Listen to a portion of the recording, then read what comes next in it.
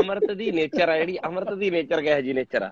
ਕਿਉਂਕਿ ਲੋਕ ਪਤਾ ਹੀ ਕਰਦੇ ਆ। ਮੈਂ ਕਈ ਵਾਰੀ ਲੋਕਾਂ ਨੂੰ ਇਹ ਗੱਲ ਕਹਿਣਾ ਕਿਉਂਕਿ ਮੈਂ ਇਹ ਗੱਲ ਕੁਐਸਚਨ ਕਿਉਂ ਪੁੱਛਿਆ? ਹੂੰ। ਵੀ ਆਪਣੇ ਜਿਹੜੇ ਗਾਣੇ ਨੇ ਨਾ ਜਿਹੜੇ ਵੀ ਗਾਣੇ ਆਉਂਦੇ ਨੇ ਜਾਂ ਜਿਹੜੀਆਂ ਵੀ ਫਿਲਮਾਂ ਆਉਂਦੀਆਂ ਨੇ ਲੋਕ। ਕਈ ਵਾਰੀ ਉਹਨਾਂ ਨੂੰ ਇੰਨਾ ਸੀਰੀਅਸ ਲੈ ਜਾਂਦੇ ਨੇ ਇੰਨਾ ਦਿਲ। ਤੇ ਲਾਉਂਦੇ ਨੇ ਹਨਾ? ਕਿ ਹੁਣ ਮੁੱਦੇ ਕੀ ਚੱਲ ਰਹੇ ਆ? ਹੁਣ ਜਿਵੇਂ ਮੈਂ ਡੇਲੀ ਆਪਾਂ ਫੇਸਬੁੱਕ ਦੇਖਦੇ ਆ ਜਾਂ ਕੁਝ ਵੀ ਜਿਵੇਂ ਹੁਣ 80% ਤਾਂ ਟੌਪਿਕ ਉਹਦਾ ਸਿੱਧੂ ਦੇ ਵਿਚਾਰਾ ਦਾ ਚੱਲੀ ਜਾਂਦਾ ਰਹਿੰਦਾ। ਬਿਲਕੁਲ। 10 20 50 ਜਾਣੇ ਕਹੀ ਜਾਂਦੇ ਨੇ ਵੀ ਜੀ ਸਿੱਧੂ ਠੀਕ ਨਹੀਂ ਸਿੱਧੂ ਆਏ ਆ ਸਿੱਧੂ ਦੇ ਗਾਣੇ ਆਉਣੇ। ਇੰਨੀ ਜਨਤਾ ਜਿਹੜੀ ਸਿੱਧੂ ਦੇ ਗਾਣੇ ਸੁਣ ਰਹੀ ਆ ਠੀਕ ਹੈ? ਹੁਣ ਤੁਹਾਡਾ ਗੀਤ ਆਇਆ ਬੰਬੀਹਾ ਇਕੱਠਿਆਂ ਨੇ ਗਾਇਆ ਤੁਸੀਂ ਹਨਾ? ਹੁਣ ਉਹਨੂੰ 10 ਬੰਦੇ ਐ ਕਹਿੰਦੇ ਵਾਲੇ ਵੀ ਹੁੰਦੇ ਨੇ ਵੀ ਯਾਰ ਇਹਨਾਂ ਨੇ ਵਾਇਲੈਂਸ ਪ੍ਰਮੋਟ ਕਰਤੀ ਇਹਨੇ ਫਲਾਣਾ ਕਰਤਾ ਹਨਾ? ਮੈਂ ਇਹ। ਪੁੱਛਣਾ ਚਾਹੁੰਦਾ ਵੀ ਯਾਰ ਵੀ ਇਹ ਜਿਹੜੀ ਤੁਸੀਂ ਤੁਸੀਂ ਆਪ ਪਹਿਲਾਂ ਇਹ ਦੱਸੋ ਵੀ ਤੁਹਾਡੀ ਜਿਹੜੀ ਤੇਰੀ ਨੇਚਰ ਆ ਵੀ ਤੇਰੀ ਨੇਚਰ ਕਿਹੋ ਜਿਹੀ ਆ? ਮੇਰਾ ਕਹਿਣ ਦਾ ਮਤਲਬ ਇਹ ਆ ਵੀ ਇਹ ਜ਼ਰੂਰੀ ਨਹੀਂ ਹੈ ਵੀ ਬੰਦਾ ਆਪ ਇਹੋ ਜਿਹਾ ਹੋਵੇ ਕਤਲੇਆਮ ਕਰਨ ਵਾਲਾ ਵੀ ਜਿਹੜਾ ਇਦਾਂ ਦੇ ਗਾਣੇ ਆਉਂਦਾ ਕਿਉਂਕਿ ਗਾਉਣਾ ਇੱਕ ਜਿਹੜਾ ਟੈਲੈਂਟ ਆ। ਹੁਣ ਸਨੀ ਭਾਜੀ ਨੇ ਸਨੀ ਦਿਓਲ ਭਾਜੀ। ਹਾਂਜੀ। ਉਹਨਾਂ ਕੋਲੇ ਬੈਠੋ ਭਾਜੀ ਆਪ ਹੀ ਇੰਨਾ ਸ਼ਰਮਾ ਕੇ ਬੋਲਦੇ ਆ ਵਿਚਾਰੇ ਇੰਨਾ ਸਾਊ ਤਰੀਕੇ ਨਾਲ ਬੋਲਦੇ ਆ। ਬੰਦਾ ਇਹ। ਸੋਚਦਾ ਵੀ ਯਾਰ ਵੀ ਇਹ ਉਹੀ ਬੰਦਾ ਜਿਹਨੇ ਫਿਲਮ 'ਚ ਨਲਕਾ ਪੱਟਿਆ ਹਨਾ? ਮਤਲਬ ਪਰਫਾਰਮੈਂਸ ਤਾਂ ਇਹੀ ਆ ਨਾ ਵੀ ਜਿਹੜਾ ਉਹਨੇ। ਨਲਕਾ ਪੱਟਿਆ ਤਾਂ ਉਹਨੇ ਫੀਲ ਕਰਾਇਆ ਵੀ ਨਲਕਾ ਪੱਟਿਆ। ਫੀਲ ਕਰਾਇਆ ਮੈਨੂੰ ਕਿਉਂਕਿ ਤੂੰ ਇੱਕ ਦਿਨ ਮੈਨੂੰ ਇਹ ਗੱਲ ਕਹੀ ਸੀ ਵੀ ਭਾਈ ਮੈਂ ਤਾਂ ਬਹੁਤ ਵੀ ਮੈਂ ਜਮਾ ਹੀ ਲੜਾਈ ਝਗੜੇ ਵਾਲਾ ਟਾਈਪ ਬੰਦਾ ਨਹੀਂ ਵੀ ਮੈਂ ਕਦੇ ਕਿਸੇ ਨਾਲ ਕੋਈ ਐ ਨਹੀਂ ਕੀਤਾ ਹਨਾ? ਹਾਂਜੀ ਹਾਂਜੀ। ਫੇਰ ਇਹ ਜਿਹੜੇ ਗਾਣੇ ਗੁਣੇ ਨੇ ਜਾਂ ਕੀ ਚੱਕਰ ਆ ਵੀ ਇਹ ਕੀ ਲੋਕਾਂ ਨੂੰ ਕੀ ਲੋਕੀ ਕੀ ਕਰਨ ਵੀ ਵਾਕਿਆ ਅਮਰਤਮਾਨ ਗੁੱਸੇ ਟਾਈਪ ਵਾਲਾ ਬੰਦਾ ਹੈ ਜਾਂ ਨਹੀਂ ਹੈ? ਬਈ ਤੁਸੀਂ ਮੇਰੇ ਖਿਆਲ ਆ ਮੈਂ ਇਸ ਫੀਲਡ ਚ 2013 14 ਚ ਆਇਆ ਸੀਗਾ ਤੇ ਆਪਾਂ ਮੇਰੇ ਖਿਆਲ 2014 ਚ ਮਿਲੇ ਸੀ ਪਹਿਲੀ ਵਾਰ। ਬਿਲਕੁਲ ਬਿਲਕੁਲ। ਤੁਸੀਂ ਮੇਰੇ ਖਿਆਲ 6 ਸਾਲ ਦੇ ਉਦੋਂ ਤੋਂ ਮੈਨੂੰ ਜਾਣਦੇ ਹੋ। ਮੇਰਾ ਖਿਆਲ ਆ। ਉਦੋਂ ਜਿਹੋ ਜਿਹਾ ਮੈਂ ਉਦੋਂ ਦਾ ਸੀਗਾ ਤੇ ਜਿਹੋ ਜਿਹਾ ਹੁਣ ਉਹ ਰਾਈਟ ਆਨਸਰ ਤੁਸੀਂ ਦਿਓਗੇ ਕਿ ਮੇਰਾ ਨੇਚਰ ਕਿਦਾਂ ਦਾ ਪਰ। ਮੇਰੀ ਕੋਸ਼ਿਸ਼ ਇਹੀ ਹੁੰਦੀ ਹੈ ਕਿ ਉਹ ਤਾਂ ਆਪਾਂ ਇੱਕ ਕੈਰੈਕਟਰ ਪਲੇ ਕਰਦੇ ਆ ਬਾਈ। ਬਿਲਕੁਲ। ਗਾਣੇ 'ਚ ਤਾਂ ਇੱਕ ਆਪਣਾ ਜੇ ਆਪਣੇ ਕੋਈ ਟੈਲੈਂਟ ਆ ਉਹ 'ਚ ਆਪਣਾ ਕੋਈ ਐਕਸ ਫੈਕਟਰ ਆ ਵੀ ਕਿਸੇ ਆਪਾਂ ਸਿਚੁਏਸ਼ਨ ਨੂੰ ਬਹੁਤ ਵਧੀਆ ਤਰੀਕੇ ਨਾਲ ਲਿਖ ਸਕਦੇ ਹਾਂ। ਤਾਂ ਮੇਰੇ ਇਹ ਹੁੰਦਾ ਕਿ ਇੱਕ ਅਪਬੀਟ ਗਾਣੇ ਨੂੰ ਇੱਕ ਚੱਕਵੇਂ ਗਾਣੇ ਨੂੰ ਮੈਨੂੰ ਐ ਲੱਗਦਾ ਕਿ ਮੇਰੀ ਜਿਹੜੀ ਵੋਕਲ ਟੋਨ ਆ ਉਹ ਸਪੋਰਟ ਕਰਦੀ ਹੈ। ਉਹ ਟੋਨ ਜਦੋਂ ਸਪੋਰਟ ਕਰਦੀ ਹੈ ਤੇ ਆਪਾਂ ਨੂੰ ਸਭ ਨੂੰ ਹੁੰਦਾ ਕਿ ਯਾਰ ਗਾਣਾ ਘੈਂਟ ਹੋਣਾ ਚਾਹੀਦਾ ਐਂਡ ਆਫ ਦਾ ਡੇ ਕਿਉਂਕਿ ਜੇ ਕੋਈ ਵੀ। ਬੰਦਾ ਫਿਲਮ ਕਰਦਾ ਉਹਨੂੰ ਐ ਹੁੰਦਾ ਯਾਰ ਮੈਂ ਕੋਈ ਵੀ ਸਬਜੈਕਟ ਛੇੜਾਂ ਜਿਹੜੇ ਸਬਜੈਕਟ 'ਚ ਮੇਰੀ ਮਾਸਟਰੀ ਹੈ ਪਰ ਉਹ ਐਂਡ ਆਫ ਦਾ ਡੇ ਲੋਕਾਂ ਨੂੰ ਪਸੰਦ ਆਵੇ। ਬਿਲਕੁਲ। ਹੁਣ ਹੁਣ ਆਪਾਂ ਅਮਰੀਸ਼ਪੁਰੀ ਸਾਹਿਬ ਸੀਗੇ ਮੈਂ ਕਈ ਲੋਕਾਂ ਤੋਂ ਮੈਂ ਇੰਟਰਵਿਊ ਦੇਖਦਾ ਬਾਲੀਵੁੱਡ ਵਾਲੇ ਜਿਹੜੇ ਸੀਨੀਅਰ ਆਪਣੇ ਆਰਟਿਸਟ ਨੇ ਉਹ। ਕਹਿੰਦੇ ਅਮਰੀਸ਼ਪੁਰੀ ਸਾਹਿਬ ਫਿਲਮਾਂ ਦੇ ਵਿੱਚ ਐਡੇ ਖਤਰਨਾਕ ਰੋਲ ਕਰਦੇ ਸੀ ਹਨਾ? ਪਰ ਡੇਲੀ ਉਦਾਂ ਜ਼ਿੰਦਗੀ ਦੇ ਵਿੱਚ ਉਹ ਇੰਨੇ ਕੁ ਕੂਲ ਤੇ ਇੰਨੇ ਕੁ ਕੰਪੋਜ਼ ਸੀਗੇ ਵੀ ਉਹਨਾਂ ਨਾਲ ਬੈਠ ਕੇ ਬੜਾ ਵਧੀਆ ਲੱਗਦਾ ਸੀ ਬੜਾ। ਚੰਗਾ ਲੱਗਦਾ ਸੀ ਬੜੇ ਹੀ। ਬੜੇ ਕਹਿ ਸਕਦੇ ਆ ਕਿ ਉਹ ਮੈਚੁਰਿਟੀ ਦੇ ਇੱਕ ਕਹਿ ਲਓ ਹਨਾ ਸਿੰਬਲ ਸੀ ਹਾਂ ਹਾਂ ਤੇ ਉਹ ਹੁਣ ਇੱਕ ਮੇਰੀ ਲੁੱਕ ਇਦਾਂ ਦੀ ਕਹਿ ਲਓ ਜਾਂ ਗਾਣਿਆਂ ਦੇ ਵਿੱਚ ਮੈਂ ਲਿਖਦਾ ਉਦਾਂ ਦਾ ਤਾਂ ਕਈ। ਵਾਰੀ ਇੰਟਰਪ੍ਰੀਟ ਹੋ ਜਾਂਦਾ ਕਿ ਯਾਰ ਵੀ ਚੱਕਮਾ ਹੋਊ ਜਾਂ ਘਰੇ ਆਊ ਪਰ ਐਂਡ ਆਫ ਦਾ ਡੇ ਸਾਰਿਆਂ ਨੂੰ ਮੈਂ ਇਹੀ ਕਹਿਣਾ ਵੀ ਬਾਈ ਅਸੀਂ ਇੱਕ ਕੈਰੈਕਟਰ ਪਲੇ ਕਰਦੇ ਆ ਜੋ। ਕਿ ਫਿਲਮਾਂ 'ਚ ਇੱਕ ਆਰਟਿਸਟ ਕਰਦਾ ਉਵੇਂ ਅਸੀਂ ਇੱਕ ਗਾਣਿਆਂ 'ਚ ਕਰਦੇ ਆ ਸਾਡੀ ਬਿਲਕੁਲ ਇਹ ਕੋਸ਼ਿਸ਼ ਨਹੀਂ ਹੁੰਦੀ ਕਿ ਹਾਂ ਚੱਕ ਲਓ ਧਰ ਲਓ ਮਾਰ ਲਓ ਜਾਂ ਉਹੀ ਤੁਰੇ ਫਿਰਦੇ ਕਿਸੇ ਦੇ ਜਾ ਕੇ ਜੇ ਆਪਾਂ ਗਾਣੇ ਚੱਕ ਜੇ ਉਹੀ ਸੰਨੀ ਦੌਲ ਭਾਜੀ ਨੇ ਨਲਕਾ ਪੱਟਿਆ। ਇਹ ਤਾਂ ਹੈ। ਜਿਹੜਾ ਉਹਨਾਂ ਦੇ ਘਰੇ ਲੱਗਿਆ ਉਹ ਵੀ ਪੱਟਤਾ ਹੋਊ ਉਹਨਾਂ ਨੇ। ਬਿਲਕੁਲ ਬਿਲਕੁਲ ਬਿਲਕੁਲ। ਉਹੀ ਆ ਬਾਕੀ ਤੁਸੀਂ ਦੱਸੋ ਤੁਹਾਡੇ ਨਾਲ ਨਹੀਂ ਨਹੀਂ ਮੈਂ ਤਾਂ ਮੈਂ ਦੇਖੋ ਇੱਕ ਗੱਲ ਕਲੀਅਰ ਆ ਦੇਖ 6 ਸਾਲਾਂ ਤੋਂ ਆਪਾਂ ਜਾਣਦੇ ਆ ਜੇ ਅੱਜ ਆਪਾਂ ਵਾਪਸ ਆਪਾਂ ਫੇਰ 6 ਸਾਲਾਂ ਬਾਅਦ ਵੀ ਇਕੱਠੇ ਕੰਮ ਕਰ ਰਹੇ ਆ ਤਾਂ ਉਹਦਾ ਰੀਜ਼ਨ ਇਹ ਆ ਵੀ ਡੈਫੀਨੇਟਲੀ ਮੈਨੂੰ ਤਾਂ ਤੇਰੀ ਨੇਚਰ ਪਸੰਦ ਆਊਗੀ ਤਾਂ ਹੀ ਤਾਂ ਆਪਾਂ ਕੰਮ ਕਰ ਰਹੇ ਆ ਤਾਂ ਹੀ ਤਾਂ ਜਾਂ ਔਰ देयर इज नो ਚੇਂਜ ਮੈਂ ਤਾਂ 100% ਇਹ ਗੱਲ ਕਹਿਣਾ ਵੀ ਜਦੋਂ ਮੈਨੂੰ ਯਾਦ ਆ ਤੂੰ ਉਦੋਂ ਆਇਆ ਸੀ ਤੂੰ ਮੈਨੂੰ ਕਹੇ ਬਾਈ ਆਪਾਂ ਗੀਤ ਕਰਨਾ ਮੈਨੂੰ ਗਾਣਾ ਸੁਣਾਇਆ ਸਾਰਾ ਕੁਝ ਮੈਂ ਤਾਂ ਨਾ ਹੂੰ। ਬੜੇ ਮੈਨੂੰ ਇੱਕ ਵਾਰੀ ਯਾਦ ਆ ਜਿਵੇਂ ਹੁਣ ਕਈ ਬੰਦਿਆਂ ਨਾਲ ਮੈਂ ਰੈਗੂਲਰ ਕੰਮ ਕਰਦਾ ਇੱਕ ਵਾਰੀ ਹੈਪੀ ਰਾਏ ਕੋਟੀ ਆ ਗਿਆ ਮੇਰੇ ਕੋਲ ਗੀਤ ਸੁਣਾਉਣ ਹਾਂਜੀ ਤੇ ਉਹ ਅਹ, ਉਹਨੇ ਜਦੋਂ ਮੈਨੂੰ ਗੀਤ ਸੁਣਾਏ ਤੇ ਮੈਂ ਉਹਨੂੰ ਕਿਹਾ ਯਾਰ ਤੂੰ ਤਾਂ ਬੇਵਕੂਫ ਬੰਦਾ ਕਹਿੰਦਾ ਕੀ ਗੱਲ ਹੋ ਗਈ ਉਹ ਵਿਚਾਰਾ ਘਾਬਰ ਗਿਆ ਉਹ ਮੈਂ ਕਿਹਾ ਤੂੰ ਤਾਂ ਮੇਰੇ ਤੋਂ ਵਧੀਆ ਗਾਈ ਜਾਂਦਾ ਪਤੰਦਰਾ ਹਨਾ ਤੇ ਹਾਂ ਕਹਿੰਦਾ ਬਾਈ ਜੀ ਕਿਤੇ ਕੁੰਡੀ ਨਹੀਂ ਫਸ ਰਹੀ ਹੈਗੀ ਹਨਾ ਤੇ। ਮੈਂ ਕਿਹਾ ਉਹ ਗੱਲ ਠੀਕ ਹੈ ਵੀ ਆਪਾਂ ਗੀਤ ਕਰਦੇ ਆ ਪਰ ਮੈਂ ਕਿਹਾ ਯਾਰ ਤੂੰ ਗਾਈ ਜ਼ਰੂਰ ਤੂੰ ਵਧੀਆ ਬੰਦਾ ਹਨਾ ਹੁਣ ਜਦੋਂ। ਹਰ ਬੰਦੇ ਦਾ ਇੱਕ ਟੈਲੈਂਟ ਆ ਮੈਂ ਉਹੀ ਗੱਲ ਕਹਿਣਾ ਜਿਵੇਂ ਹੁਣ ਜਦੋਂ ਬੀਤ ਨੇ ਮੇਰੇ ਸਾਰੇ ਗੀਤ ਸ਼ੁਰੂ ਵਾਲੇ ਸੀ ਬੀਤ ਦੇ ਵੀ ਸਾਰੇ ਗੀਤ ਚੱਕਵੇਂ ਸੀ ਪਿੰਡ ਦੇ ਵਿਚਾਲੇ। ਮੈਨੂੰ ਡਾਂਗ ਖੜਕੀ ਇਹ ਉਹ ਅਸੀਂ ਇਹੋ ਜਿਹੇ ਗੀਤ ਬਹੁਤ। ਗਾਏ ਹਨਾ ਪਰ ਹੁਣ। ਇਹ ਤਾਂ ਨਾ ਵੀ ਬੀਤ ਦੂਜੇ ਨਹੀਂ ਦਾ ਬੀਤ ਸਾਰੇ ਤਰ੍ਹਾਂ ਦੇ ਗੀਤ ਲਿਖਦਾ ਸੀਗਾ ਹਨਾ ਸਭ ਤਰ੍ਹਾਂ ਦੇ ਸਭ ਤਰ੍ਹਾਂ ਦੇ ਹੁਣ। ਮੈਂ ਉਹੀ ਗੱਲ ਕਹਿਣਾ ਵਾ ਲੋਕ ਜਿਵੇਂ ਹੁਣ ਕਈ ਵਾਰੀ ਮੈਂ ਕਨਫਿਊਜ਼ਨ ਆ ਦੇਖਦਾ ਵਾਂ ਵੀ ਜਦੋਂ ਦਾ ਸੋਸ਼ਲ ਮੀਡੀਆ ਆਇਆ ਪਹਿਲਾਂ ਕੀ ਹੁੰਦਾ ਸੀਗਾ ਪਹਿਲਾਂ ਹੁੰਦਾ ਸੀ ਵੀ ਜਿਹੜੇ ਬੰਦੇ ਦੇ ਜਿਹੜੇ ਫੈਨ ਨੇ ਜਿਵੇਂ ਹੁਣ ਜਿਹੜੇ ਮੇਰੇ। ਫੈਨ ਨੇ ਉਹ ਮੇਰੇ ਸ਼ੋਅ ਦੇ ਉੱਤੇ ਆਉਂਦੇ ਸੀਗੇ ਇੰਜੋਏ। ਕਰਦੇ ਸੀ ਭੰਗੜੇ ਪਾਉਂਦੇ ਸੀਗੇ ਨੱਚਦੇ ਸੀ ਟੱਪਦੇ ਸੀ ਘਰ ਨੂੰ ਚਲੇ ਜਾਂਦੇ ਸੀ ਠੀਕ ਆ ਹੂੰ। ਮੰਨ ਲਾ ਅਗਲੇ ਦਿਨ ਕਿਸੇ ਹੋਰ ਦਾ ਅਮਰਿੰਦਰ ਗਿੱਲ ਦਾ ਸ਼ੋਅ ਹੈ ਜਾਂ ਦਲਜੀਤ ਦੋਸਾਂਝ ਦਾ ਸ਼ੋਅ ਹੈ ਉਹ ਉਹਦੇ ਸ਼ੋਅ ਦੇ ਉੱਤੇ। ਆਪਦੇ ਫੈਨ ਜਾਂਦੇ ਸੀਗੇ ਨੱਚਦੇ ਸੀ ਟੱਪਦੇ ਸੀ ਘਰੇ ਆਏ ਸੀ ਪਰ ਉਹ। ਕਿਸੇ ਦੇ ਸ਼ੋਅ ਦੇ ਉੱਤੇ ਜਾ ਕੇ ਐ ਨਹੀਂ ਸੀ ਹੁੰਦਾ ਵੀ ਕੋਈ ਬੰਦਾ ਐ ਕਹੇ ਵੀ ਕੱਲ ਗਿੱਪੀ ਲੱਗਿਆ ਸੀ ਉਹ ਤਰਨੋਂ ਘੈਂਟ ਸੀ ਬਈ ਠੀਕ ਹੈ ਜਾਂ ਲੱਗਿਆ ਸੀ। ਹੁਣ ਪ੍ਰੋਬਲਮ ਇੱਕ ਇਹ ਬਹੁਤ ਆ ਗਈ ਹਨਾ ਵੀ Audience ਵੀ ਬਦਲ ਗਈ, audience ਵੀ। ਪਤਾ ਨਹੀਂ ਕਿਉਂ ਔਰ ਮੈਂ ਮੈਂ ਬਹੁਤ ਵਾਰੀ ਇਹ ਗੱਲ ਕਹਦਾ ਓਨੈਸਟ ਗੱਲ ਹੈ ਅੱਜ ਆਪਾਂ ਲਾਈਵ ਹੋਏ ਆ ਮੈਂ। ਹਮੇਸ਼ਾ ਕੋਸ਼ਿਸ਼ ਕਰਦਾ ਕਿ ਦੇਖੋ ਚਲੋ ਕੰਮ ਧੰਦਾ ਹਰੇਕ ਦਾ ਇੰਪੋਰਟੈਂਟ ਆ ਸਾਡਾ ਵੀ ਕੰਮ ਧੰਦਾ ਸਾਡੇ ਲਈ ਇੰਪੋਰਟੈਂਟ ਆ ਆਪਾਂ ਰੋਟੀ ਖਾਣੇ ਆ ਉਸੇ ਚੀਜ਼। ਤੋਂ ਆਪਾਂ ਆਪਦੇ ਜਵਾਕ ਪਾਲਣੇ ਆ ਪਰ ਮੇਰਾ। ਇੱਕ ਜ਼ਰੂਰ ਸਾਰਿਆਂ ਨੂੰ ਇਹ ਚੀਜ਼ ਹੈਗੀ ਆ ਵੀ ਅਸੀਂ ਜਦੋਂ ਆਉਨੇ ਆ ਨਾ ਆਪਾਂ ਜਿਵੇਂ ਹੁਣ। ਕੋਈ ਵੀ ਗੱਲ ਕਰਦੇ ਆ ਜਾਂ ਆਪਾਂ ਹੁਣ ਆਪਾਂ ਆਪਣਾ ਗਾਣਾ ਆ ਰਿਹਾ ਹੈ ਕਿਵੇਂ ਆਪਾਂ ਉਹਨੂੰ ਵੀ ਪ੍ਰਮੋਟ ਕਰ ਰਹੇ ਆ ਪਰ ਮੈਂ ਕਹਿੰਦਾ। ਨਾਲ ਆਪਾਂ ਲੋਕਾਂ ਨੂੰ ਇਹ ਦਸੀਏ ਵੀ ਅਸੀਂ ਆਪਦਾ ਸੌਦਾ ਵੇਚਦੇ ਆ ਅਸੀਂ। ਆਪਦਾ ਸੌਦਾ ਵੇਚਦੇ ਆ ਤੁਸੀਂ ਸਾਲੇ ਸਾਡੇ ਸੌਦੇ ਦੇ ਪਿੱਛੇ ਕਾਹਨੂੰ ਆਪਦੇ ਘਰੇ ਲੜਾਈ ਪਾਈ ਹੋਈ ਆ ਹੁਣ ਕਿਸੇ। ਦਾ ਕੋਈ ਕੋਈ ਕਿਸੇ ਦਾ ਫੈਨ ਆ ਕੋਈ ਕਿਸੇ ਦਾ ਫੈਨ ਆ ਕਈ ਬੰਦਿਆਂ ਦੇ ਮੈਨੂੰ ਕਈਆਂ ਦੇ ਮੈਸੇਜ ਪੜਦਾ ਉਹ ਕਹਿੰਦਾ ਵੀ ਫਲਾਣੇ ਬੰਦੇ ਨੇ ਫਲਾਣੇ ਨੂੰ ਗਲਤ ਬੋਲਿਆ ਮੇਰੇ ਚਾਚੇ ਨੇ ਫਲਾਣੇ ਨੂੰ ਗਲਤ ਬੋਲਿਆ ਮੈਂ ਤਾਂ ਚਾਚੇ ਨਾਲ ਹੀ ਬੋਲਣੋਂ ਹਟ ਗਿਆ ਮੈਂ ਤਾਂ ਫਲਾਣੇ ਦਾ ਹਨਾ। ਮੈਂ ਉਹ ਕਹਿੰਦਾ ਵੀ ਐਕਚੁਅਲੀ ਕੀ ਆ ਵੀ ਦੇਖੋ ਅਸੀਂ ਤੁਹਾਨੂੰ ਪਿਆਰ ਕਰਦੇ ਆ ਤੁਸੀਂ ਮਿਲ ਵਰਤ ਕੇ ਰਹੋ। ਸਾਰਿਆਂ ਦਾ ਜਿਹੜਾ ਚੰਗਾ ਗੀਤ ਆ ਉਹ ਸੁਣੋ ਹਨਾ। ਇਹ। ਕਨਫਿਊਜ਼ਨ ਨੇ ਇੰਨਾ ਜ਼ਿਆਦਾ ਟਰਬਲ ਕੀਤੀ ਹੋਈ ਆ ਹਨਾ।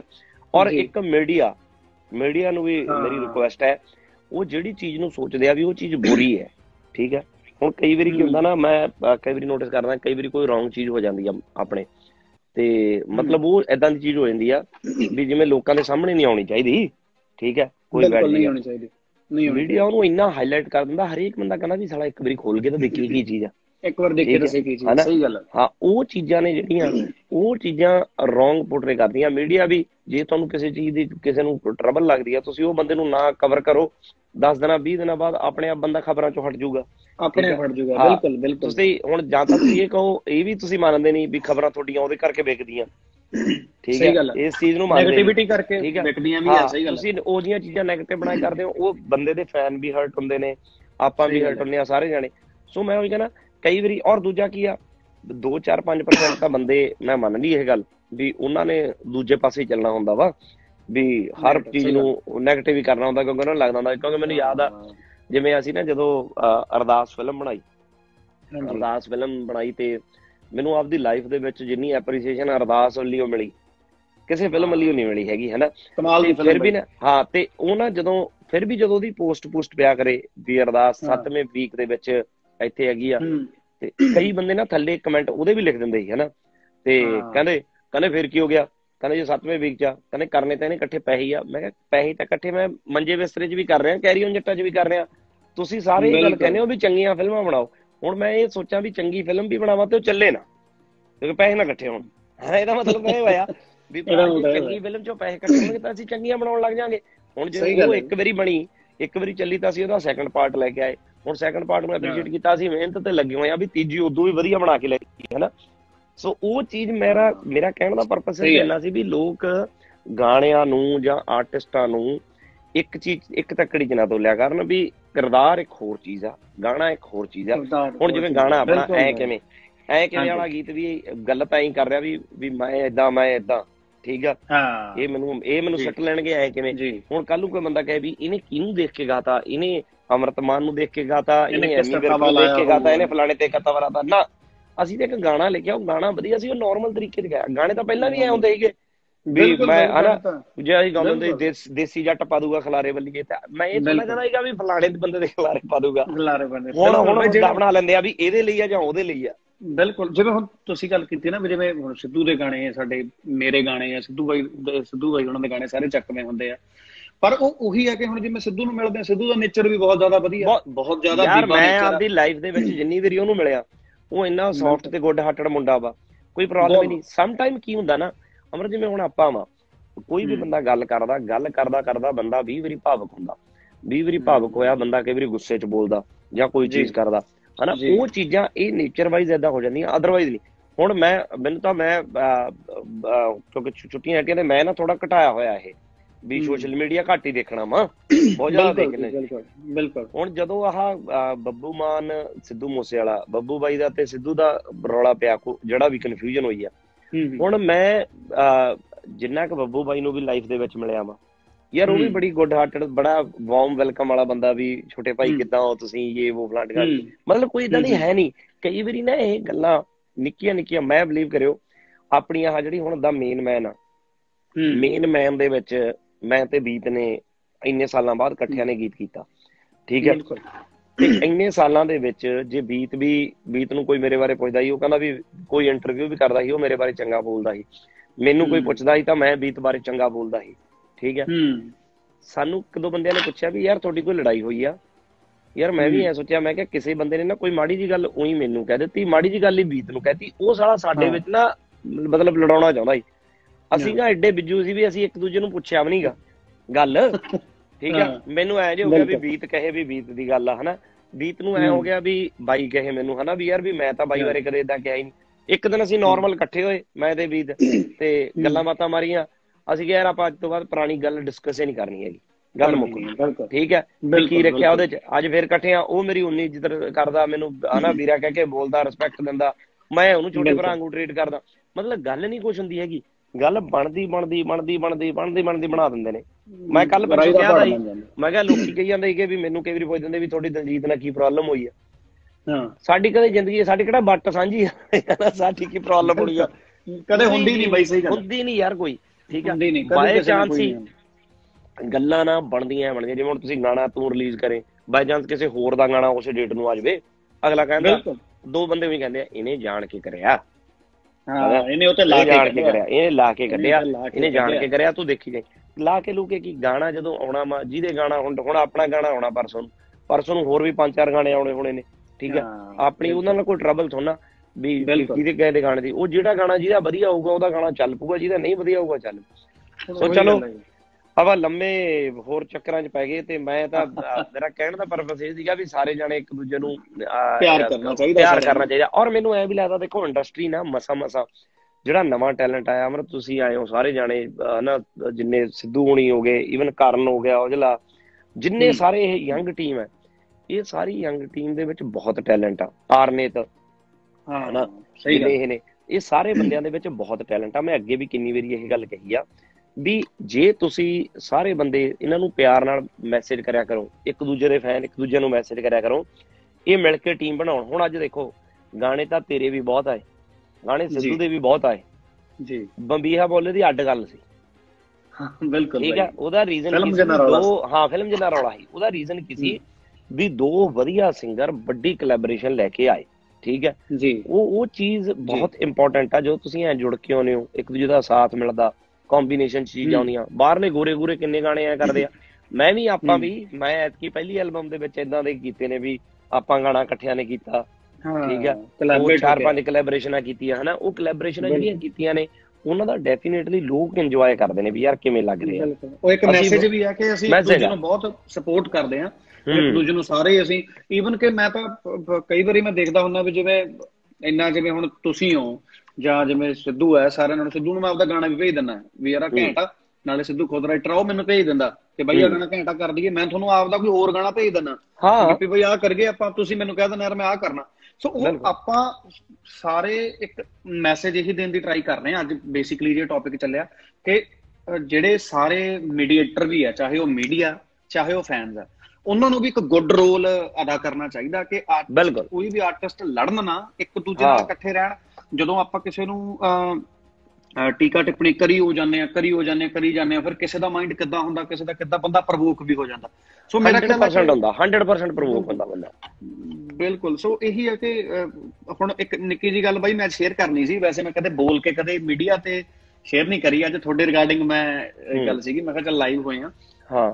ਤੁਹਾਡਾ ਨਾ ਵੀਰੇ 2010 ਦੇ ਵਿੱਚ ਜਿੱਥੇ ਮੈਂ ਪੜ੍ਹਦਾ ਸੀ ਸਵਾਮੀ ਵਿਵੇਕਾਨੰਦ ਕਾਲਜ ਜਿੱਥੇ ਮੈਂ ਇੰਜੀਨੀਅਰਿੰਗ ਕੀਤੀ ਹੈ ਡਿਗਰੀ ਕੰਪਲੀਟ ਕੀਤੀ ਹੈ ਹੂੰ। ਉੱਥੇ ਹਜੇ ਮੇਰਾ ਫਰਸਟ ਇਅਰ ਸੀਗਾ ਤੇ ਤੁਸੀਂ ਤੁਹਾਡਾ ਸ਼ੋਅ ਸੀ।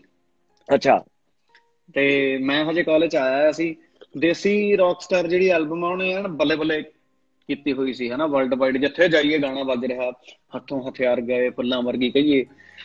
ਤੇ ਤੁਹਾਡਾ ਸ਼ੋਅ ਤੇ ਅਸੀਂ ਸਾਨੂੰ ਬੜਾ ਚਾਹ ਸੀ ਕੀ ਕਰਿਆ ਨਾ ਮੈਂ ਸਕੀਮ ਜੀ ਲਾ ਕੇ ਜਿੱਦਾਂ ਹੁਣ ਤੁਹਾਡੀ ਸਟੇਜ ਤੇ ਕੋਈ ਉਹ ਉਦਾਂ ਕੋਈ ਅਲਾਉਡ ਨਹੀਂ ਹੁੰਦਾ ਕੋਈ ਸਟੇਜ। ਪਰਫਾਰਮ ਕਰਦੇ ਜੀ। ਕਿਉਂਕਿ ਪਰਫਾਰਮੈਂਸ ਵੇਲੇ ਆਰਟਿਸਟ ਨੂੰ ਆਪਣਾ ਬਿਲਕੁਲ ਕੰਫਰਟ ਜ਼ੋਨ ਚਾਹੀਦਾ ਹੁੰਦਾ ਬਿਲਕੁਲ ਤੁਸੀਂ ਉੱਥੇ ਮੈਨੂੰ ਇੰਨਾ ਚਾਹ ਮੈਂ ਕਿਹਾ ਯਾਰ ਬਾਈ ਆਇਆ ਬਾਈ ਨਾਲ ਫੋਟੋ ਕਰਾਈਏ ਪਹਿਲਾਂ ਤਾਂ ਮੈਂ। ਕਿਸੇ ਨੂੰ ਹਿਸਾਬ ਕਿਤਾਬ ਨਾਲ ਕਿਸੇ ਨੂੰ ਕਹਿ ਕੇ ਮੈਂ ਕਿਹਾ ਯਾਰ ਫੋਟੋ ਹੋ ਜੇ ਮੈਂ ਫਿਰ ਤੁਸੀਂ ਅੰਦਰ ਬੈਠੇ ਸੀ ਕਾਫੀ ਪੀ ਰਹੇ ਸੀਗੇ ਸ਼ੋਅ ਤੋਂ ਪਹਿਲਾਂ ਫਿਰ ਤੁਸੀਂ ਮੇਰੇ ਨਾਲ ਬੜਾ ਵਧੀਆ ਹਨਾ ਇੱਕ ਇੱਕ ਫੈਨ ਸੀਗਾ ਮੈਂ ਤਾਂ ਤੁਸੀਂ ਆਏ ਤੁਹਾਨੂੰ ਉਦੋਂ ਤਾਂ ਕਿਹੜਾ ਮੈਂ ਇਸ ਫੀਲਡ 'ਚ ਸੀਗਾ ਜਾਂ ਕੁਝ ਹੋਰ?